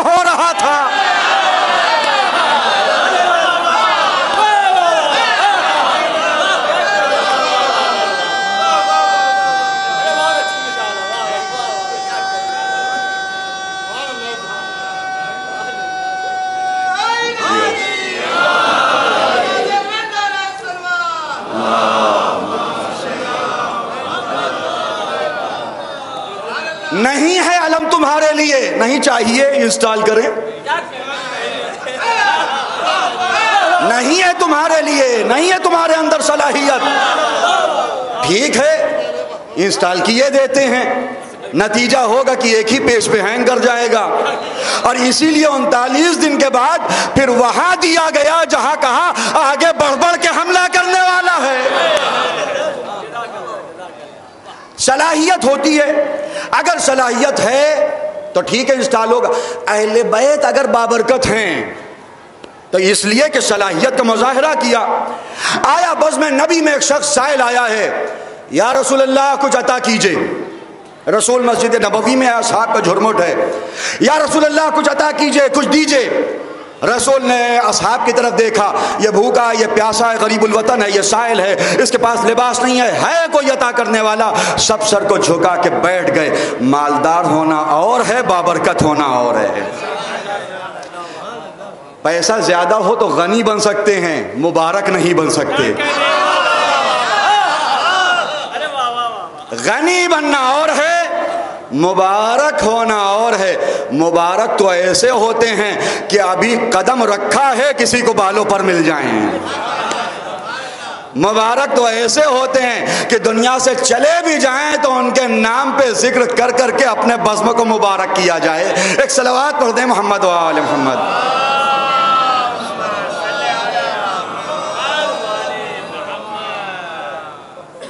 एक और सलवात पढ़ दें मोहम्मद। सबने सरों को झुका लिया। रसूल ने कहा, ये कुछ नहीं देंगे। वो सामने एक दरवाज़ा दिखाई पड़ रहा है ना, सारे दरवाजे बंद हो गए, वही एक खुला है। मस्जिद नबवी के सारे दरवाजे बंद हो गए, एक खुला है वो। चले जाओ, उस दरवाजे पे ऐसा हो ही नहीं सकता कि ना मिले। साहिल पहुँच गया। मैंने कहा, ना, अपने यहाँ लॉकर में रखे हुए जेवर कसरत की निशानी है, बरकत की निशानी नहीं है। साहिल पहुँच गया वहाँ पे। है कोई मुझे अता करने वाला? भूखा हूँ, प्यासा हूँ, बेलिबास हूँ गरीबुलवतन हूँ, सवारी नहीं है। शाहजादी कौनैन ने अंदर से कहा, कि देखो, मेरे घर में इस वक्त कुछ नहीं है। एक खाल है जानवर की, जिसमें मैं बच्चों को खाना भी खिलाती हूँ, इसी पे सुलह भी देती हूँ। इसे ले जाओ, अपने काम में सर्फ कर लो। उसने कहा, नहीं, मुझे खाल तो नहीं चाहिए। जहरा के पास, शाहजादी के पास सिर्फ़ एक जेवर था, गुलूबन जो किसी ने लाके दिया था। दसियों गुलूबंद होने के बावजूद जो अता न करें, वो हम हैं हमारे घर की औरतें। जहाँ सिर्फ़ एक जेवर है, शाहजादी ने फ़ौरन जेवर उतारा। उतारने के बाद इसके हवाले किया, जाओ, ले जाओ बेच दो। औरत का अपना जेवर देना आसान नहीं है। जाओ, इसे फरोख करके अपनी ज़रूरत पूरी कर लो। जेवर लेके आया मस्जिद में दोबारा। रसूल ने कहा, हो गई ज़रूरत पूरी? कहा, शाहजादी ने जेवर दिया है अपना हार दिया है, गुलूबंद दिया है। कहा, तुम्हें क्या चाहिए? कहा, मुझे खाना चाहिए, पानी चाहिए, मुझे सवारी चाहिए, अपने घर तक पहुँच जाऊँ, लिबास चाहिए। रसूल ने कहा, है कोई इस जेवर को खरीदने वाला? जनाब अम्मार ने कहा, मैं खरीदूँगा। जेवर को खरीदा कितने में? कहा मुझे लिबास दे दें, खाना दे दे, पानी दे दे सवारी दे दे जो मुझे वतन तक पहुँचा दें। जनाब, हमारे यासिन ने सब दे दिया और देने के बाद जेवर लिया। अपने ग़ुलाम को करीब बुलाया। करीब करीब बुलाने के बाद कहा, उसे कागज़ में लपेटा, खुशबू मुअत्तर किया और ग़ुलाम से कहा, इसे ले जाओ, शाहजादी को वापस कर दो और अगर शाहजादी ने ले लिया तो तुम आज़ाद हो जाओगे। गुलाम जेवर को लेके चला। शाहजादी के दरवाजे पे पहुँचा दक्कुलबाब किया। शाहजादी, ये लीजिए आप अपना जेवर। शाहजादी के हाथ में जेवर दिया। क्या हुआ? पूरी दास्तान अर्ज़ की। जैसे ही शाहजादी ने जेवर लिया, गुलाम मुस्कुराने लगा। शाहजादी ने पूछा, मुस्कुरा क्यों रहे हो? क्या इस हार के बारे में सोच रहा हूँ? इस जेवर के बारे में सोच रहा हूँ? कितना बाबरकत जेवर है। अपनी जगह से चला, भूखे को खाना खिलाया, प्यासे को पानी पिलाया, बेलिबास को लिबास दिया, एक गुलाम आज़ाद कराया। जहाँ से चला गया। एक सलवार पढ़ दे मोहम्मद वाले।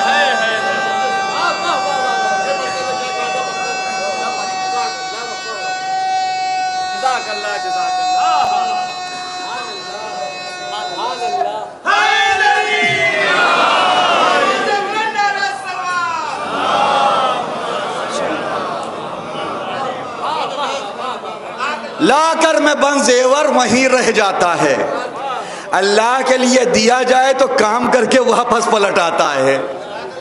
सब कुछ काम भी हो गया, जहाँ से चला था वहाँ वापस भी पहुँच गया। ये बाबरकत घर है, जहाँ से हमें दर्श लेना है कैसे बरकतों को समेटना है, कैसे बरकतों को लेना है। हमने बरकतों को सिर्फ़ तबर्रुक में सोचा, बस। ये जो बटने वाला तबर्रुक है। उससे कहीं बाबरकत तबर्रुक वो है जो आज़ा खानों में सजे रहते हैं। इस घर में बरकत है, ये घर कुल मुबारक है। इस घर से दर्श लेने की ज़रूरत है। मैंने इब्तदा में क्या अर्ज़ किया था कि मैं मुनासिबतों का ख्याल करके चलता हूँ। इस घर से दर्श लेने की ज़रूरत है। इस घर को दर्श देने की ज़रूरत नहीं है। अब मैं एक और रुख की तरफ़ आना चाहता हूँ। अगर किसी को बुरा लगे तो माजरत लेकिन चाहता हूँ वो अर्ज़ करूँ, जो समाज की ज़रूरत है। दर्श लेने की ज़रूरत है। इस घर को दर्श देने की ज़रूरत नहीं है। शाहजादी से सीखने की ज़रूरत है। शाहजादी को सिखाने की ज़रूरत नहीं है। इसलिए कि उन्हें अल्लाह ने सिखाया है। वो वहाँ से सीख के आई हैं। अगर अभी अकद इमाम अली और जनाब फातिमा का वक्त करीब आ रहा है। पहली जिलेज, रोज़े इजदवाज मरजल बहरैन। इमाम अली और जनाब फातिमा की शादी का दिन कौन सा? पहली जिलेज।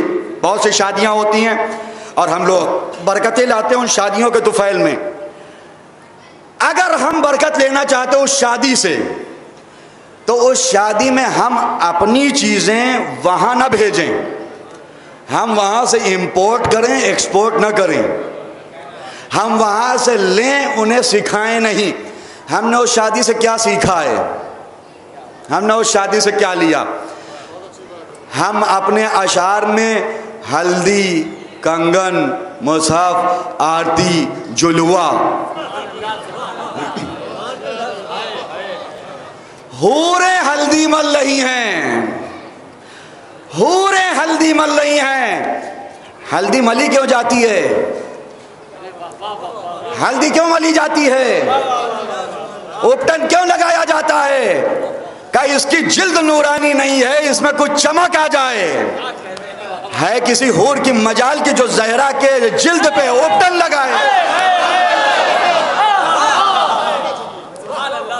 हम कुछ कह देते, समझते नहीं कह क्या रहे हैं। है किसी की मजाल की वहाँ पे चमक लाए? है किसी की मजाल? अरे जिसके बारे में है कि जन्नत में कभी कभी अचानक नूर छा जाता है। सब पूछते हैं, अहले जन्नत हुआ क्या? का फातिमा की कनीज खास ने अपने महल की खिड़की से चेहरा बाहर निकाला है।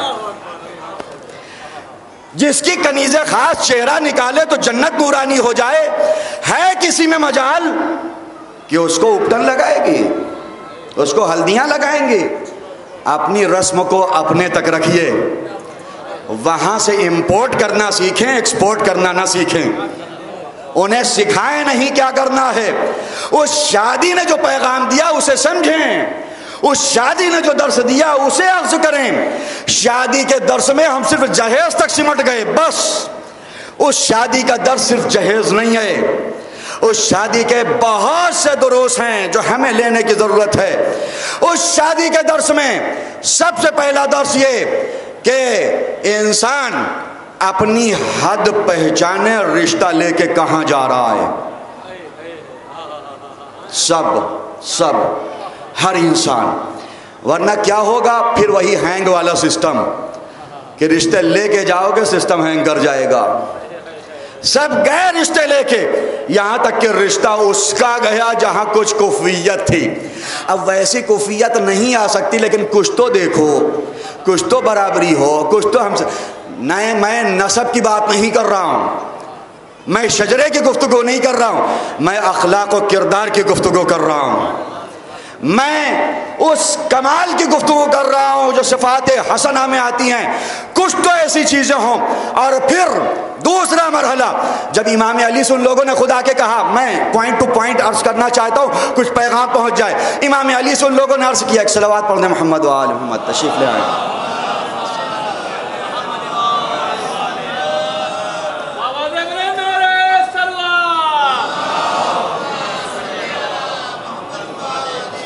अच्छा वक्त तो हो रहा है, मैं तेज़ी के साथ अपनी बात अर्ज़ करूँगा, जहाँ थक जाएँगे, बता देंगे। इमाम अली से जब उन्होंने कहा, जाइए, रिश्ता लेके। नौजवानों, मैं आपसे गुफ्तु कर रहा हूँ। सबसे आपसे, जो कुंवारे हैं उनसे खास तौर से। इमाम अली रिश्ता लेके किसके पास गए? डायरेक्ट लड़की से बात किया या रसूल के पास गए? किसके पास गए? जहाँ दो तरफा इसमत है। इमाम अली भी मासूम, जनाब जहरा भी मासूमा।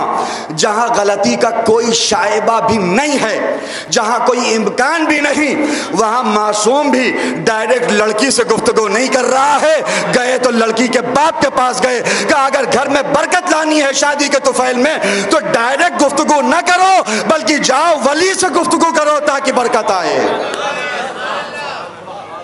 किससे गुफ्तगु करना है? वली से। जहाँ कोई गलती का इम्कान नहीं, वहाँ वली का मामला। यहाँ तो गलती के हज़ार दर्जा इम्कान है। क्या करना है? लड़की के बाप के पास जाओ। गए बाप के पास इमाम अली।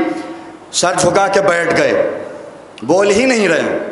मैंने कहा, उस दर्स में आप एक्सपोर्ट ना कीजिए इंपोर्ट कीजिए, सीखें। कुछ नहीं बोल रहे मौला। रसूल मुस्कुरा रहे, जनाब उम्म सलमा मुस्कुरा रहे। इसलिए खाने उम्म सलमा में थे। मुस्कुरा रहे। रसूल ने कहा, अली, कुछ बोलोगे? कहा, या रसूल अल्लाह क्या बोलूँ? अब देखें आप गुफ्तु कहाँ से होती है। या रसूल अल्लाह बचपन में आपने पाला। आपने देखा क्या अच्छाई है मेरे अंदर। आप जानते हैं क्या कमी है मेरे अंदर? कोई कमी नहीं है, लेकिन सलीक़ गुफ्तगु है। आप जानते हैं नशेब फराज क्या है? आप जानते हैं मेरी ज़िंदगी कैसे गुजरी है? आप जानते हैं मैंने हर मरहले पे आपका साथ दिया है। या रसूल अल्लाह आप जवान हो गया हूँ। जवानी का तकाजा इस दवाज होता है। जवानी की ज़रूरत शादी होती है। या रसूल अल्लाह रिश्ता लेके आया हूँ।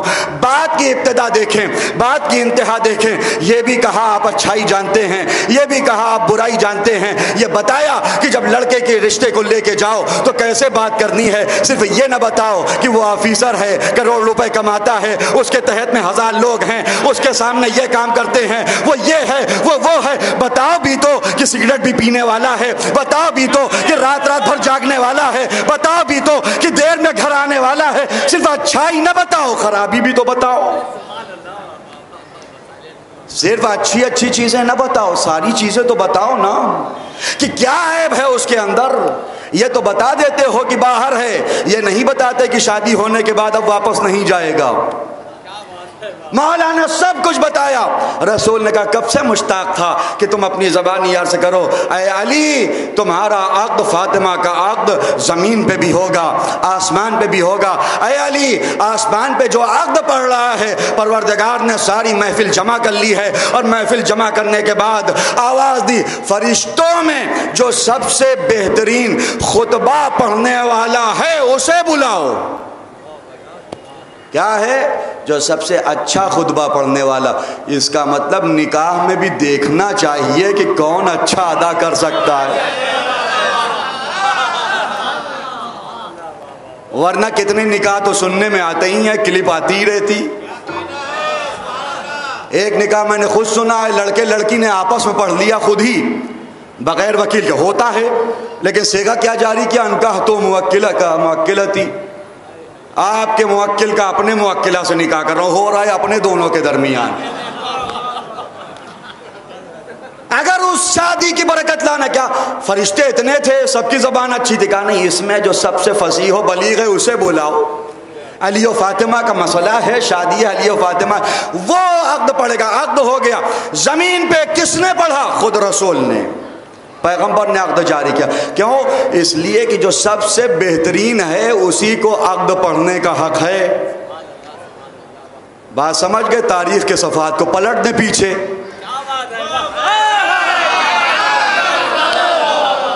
रसूल ने क्या कहा? जो सबसे बेहतरीन है अक्द पढ़ने का हक उसी को है।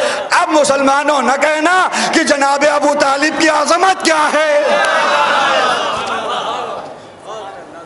रसूल ने अकद पढ़ दिया। अकद पढ़ने के बाद रसूल ने कहा कि, सलमान अबू जर, कुछ अरसे के बाद, रुखसती बाद में हुई थी। ए सलमान कम्बर जाओ मस्जिद। मस्जिद में जाके ऐलान करो कि चलो, अली फ़ातिमा सलाम का वलीमा है। किसे बुलाया है? वीआईपीएस को। किसे बुलाया है? जो अपना स्टेटस दिखाने वालों को। किसे बुलाया? अपनी दोस्ती का? नहीं।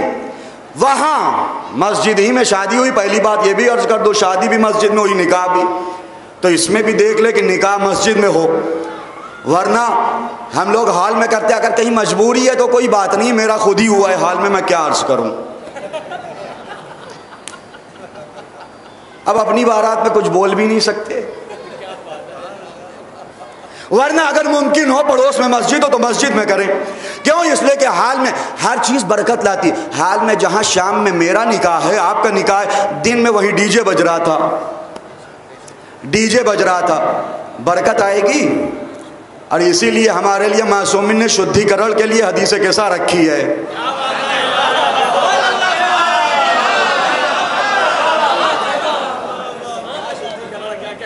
ये हदीस कैसा? उस माहौल को नूरानी बनाती है, उस दरो दीवार को नूरानी बनाती है। और हमारे यहाँ जो बारात में सिर्फ़ खाने जाते वो वहाँ बैठते ही नहीं। उनको हदीस के साथ से कोई मतलब ही नहीं होता। इसलिए कि वो बरकत लेने नहीं आए, वो खाना खाने आए हैं। एक सलवात पढ़ते मोहम्मद वाल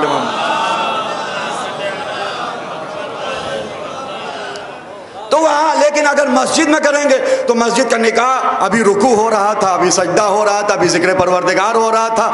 वहाँ तो ऐसे ही बरकतें हदीस कैसा हो जाती है तो वो शुद्धिकरण नहीं होता, सोने पर सुहागा हो जाता है। और बेहतर हो जाता है। जाओ कंबर सलमान, वीआईपी लोगों को नहीं, मस्जिद वालों से कहो, अली फातिमा का वलीमा है। कह दिया, हमारे यहाँ भी हम ये कर सकते हैं, बहुत आराम से कर सकते हैं। मैंने अपने यहाँ भी दो तीन दिन पहले अर्ज़ किया इस बात को, कि आप बुला सकते हैं। आपने सबको दावत दे दी, जितने आपके दोस्त हैं सबको बुला लिया। बुला लीजिए बड़े आराम से। लेकिन मस्जिद वालों को भी बुला ले ताकि बरकत आ जाए। कितने लोग रहते ही हैं मस्जिद में?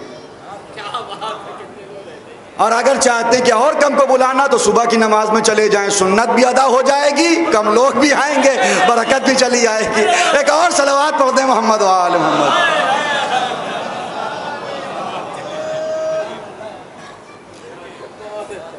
हो गया वलीमा रुखसती हो रही, बस आ गया आखिरी मरहले तक। रुखसती हो रही है। रुखसती में हमारे यहाँ की लड़कियाँ भी रोती हैं। जनाब जहरा भी रोई। हमारे यहाँ की लड़कियाँ रोती हैं, क्यों? बाबुल की गलियाँ छूट रही हैं। यही है शायद जुमला। वो मायका छूट रहा है, वो चौखट छूट रही, सहेलियाँ छूट रही हैं, अफराद छूट रहे हैं घर वाले छूट रहे हैं। अब कैसे मिलेंगे ये? अब कहाँ मिलेंगे? कभी कभी आना होगा, पता नहीं ससुराल कैसा हो। उस घर की बरकत देखें जनाब जहरा की शादी की बरकत। अब की जब शादी का तस्करा करेंगे ना तो हल्दी मुसहफ से आगे ये भी सोच लीजिएगा। लड़कियाँ रोती हैं, घर छूट रहा है। रुखसती हो रही, जनाब जहरा भी रोने लगी। रसूल करीब आए, बेटी क्यों रो रही? नूर के एक टुकड़े से रुखसत हो के दूसरे टुकड़े के यहाँ जा रही हो। एक टुकड़े का नाम मोहम्मद है, एक का नाम अली है। सलवात पढ़ दे मोहम्मद।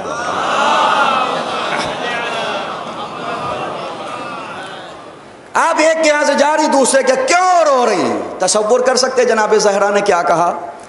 हमारे यहाँ कभी सोचा भी नहीं जा सकता। किसी की रुखसती हो रही हो और कोई जाके कह दे कि, अरे, इनकी रुखसती देख के तो फला की मैयत याद आ गई कि इतना अच्छा जनाजा उठा था। कोई कह सकता है? नहीं कह सकता। अगर वो कहेगा तो उसी की मैयत उठ जाएगी। हिम्मत नहीं है किसी की कहें। लेकिन क्यों? इसलिए कि शादी के मरहले पे मौत कोई याद करना नहीं चाहता।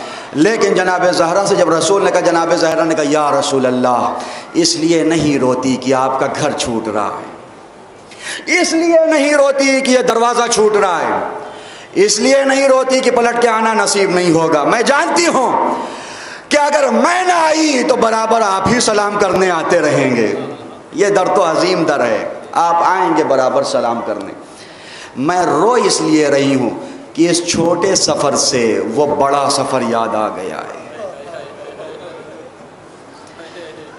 अरे बाबा, जब मैं आपके घर से अली के घर में जा रही हूँ, इतना छोटा सफ़र, आपने इतना जहेज़ दे दिया, इतना ज़्यादा राह दे दिया।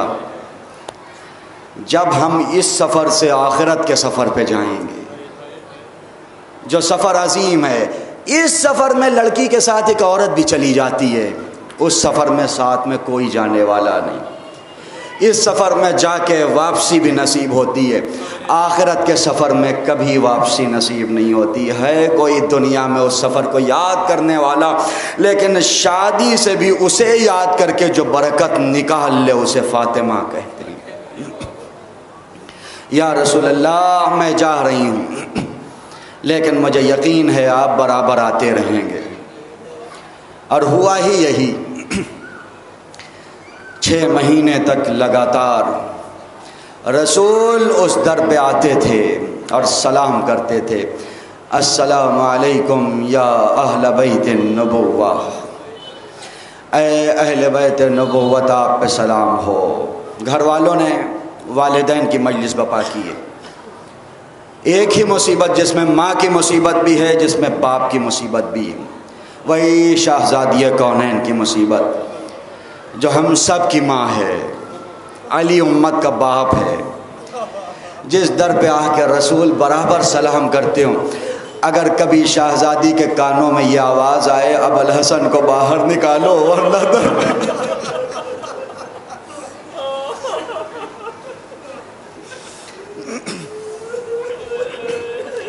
तारीख कहती है, जनाब फ़ातिमा को तो पहले यकीन ही नहीं हुआ। कहा, उस घर में आग लगाओगे? जहाँ पे फरिश्ते नाजिल होते हैं काम आग लगा देंगे। जिसमें हसनैन जैसे छोटे छोटे बच्चे हैं, उस घर में आग लगाओगे? का वहीं होते रहे, हम आग लगा देंगे। दरवाज़ा जलाया गया। जलता हुआ दरवाज़ा है, फातिमा दरवाजे के पीछे हैं। अब शेख मुफीद ने जो रवायत नकल की है कि एक तरफ़ पंद्रह सत्रह अफराद, अंदर अकेली फातिमा, वो भी उन अयाम में जिन अयाम में कहा जाता है, ज़्यादा ताकत ना लगाओ। जिसमें औरतों के लिए कहा जाता है, ज़्यादा ताकत का इस्तेमाल ना करें। एक तरफ़ पंद्रह सत्रह अफराद, एक तरफ़ अकेली फातिमा। अली का दिफा करना है, इमामत का दिफा करना कब तक दिफा करती? दरवाज़ा अपनी जगह से उखड़ा। फातिमा दरो दीवार के दरमियान आई, ज़मीन पर गिरी।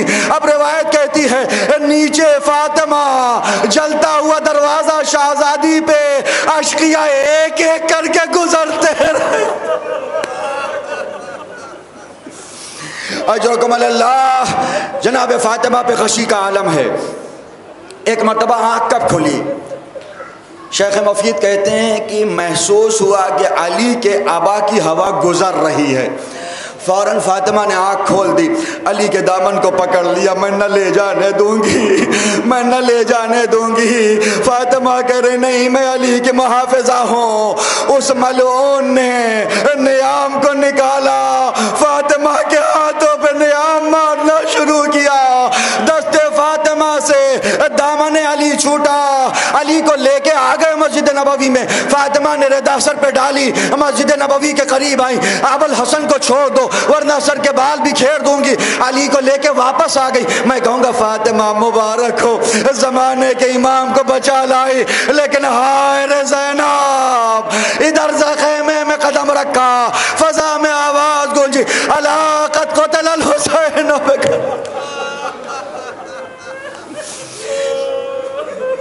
अजरकुम अल्लाह फातिमा की मुसीबत एक तरफ़, लेकिन कुछ अली के मसाइब भी बयान कर दूँ।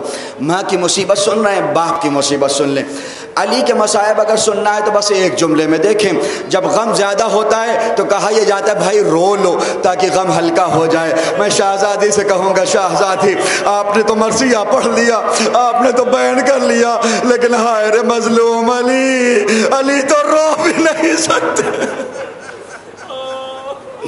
मौला कह रहे मैंने सब्र किया, मेरे गले में हड्डी थी, मेरी आँखों में खसो खाशाक था। सब्र करते रहे अली, यहाँ तक की रवायत कहती है, जब फातिमा को ले जाके कब्र के हवाले किया, कब्र बंद कर दिया, अब यहाँ से आगा अंसारियान के एक मसायब अर्ज़ करना चाहता हूँ। मैंने कई जगह पे अर्ज़ किया, आगा अंसारियान कहते हैं, जब अली ने फातिमा की कब्र को बंद कर दिया, सारी दुनिया के मुश्किल को हल करने वाला अली, अब खुद हैरान परेशान है। जाए तो कहा जाए जाए तो कहाँ जाए? आकान सारियान पे कहते हैं हाँ जानते हो वजह क्या है? वजह यह है, फिर वो एक दास्तान अर्ज़ करते कि हम लोग हज पे थे, मैदान मेना या अरफात में। हम लोग थे, देखा, एक शख्स दारो कतार रो रहा है। उसके करीब गए, भाई, क्यों रोते हो? क्यों गिरिया करते हो? उसने कहा, मैं और मेरी जौजा, हम लोग हज के लिए आए थे। मेरी जौजा का इंतकाल हो गया, वो दुनिया से चली गई। मैंने कहा, भाई, सब्र को अल्लाह की यही मर्ज़ी है। कहा, सब्र तो कर लें, हम अपने लिए नहीं रोते। मेरे चार छोटे छोटे बच्चे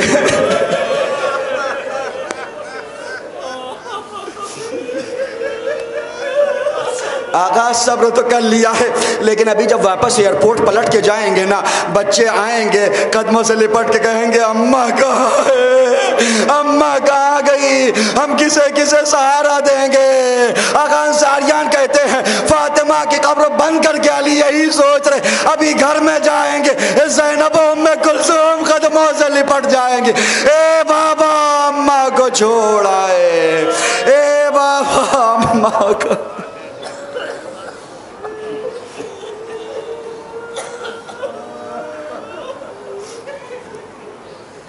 वसलमजीन ज़लमू अयमनकलबीन कलबून इन्ना लिल्लाह व इन्ना इलैहि राजिऊन।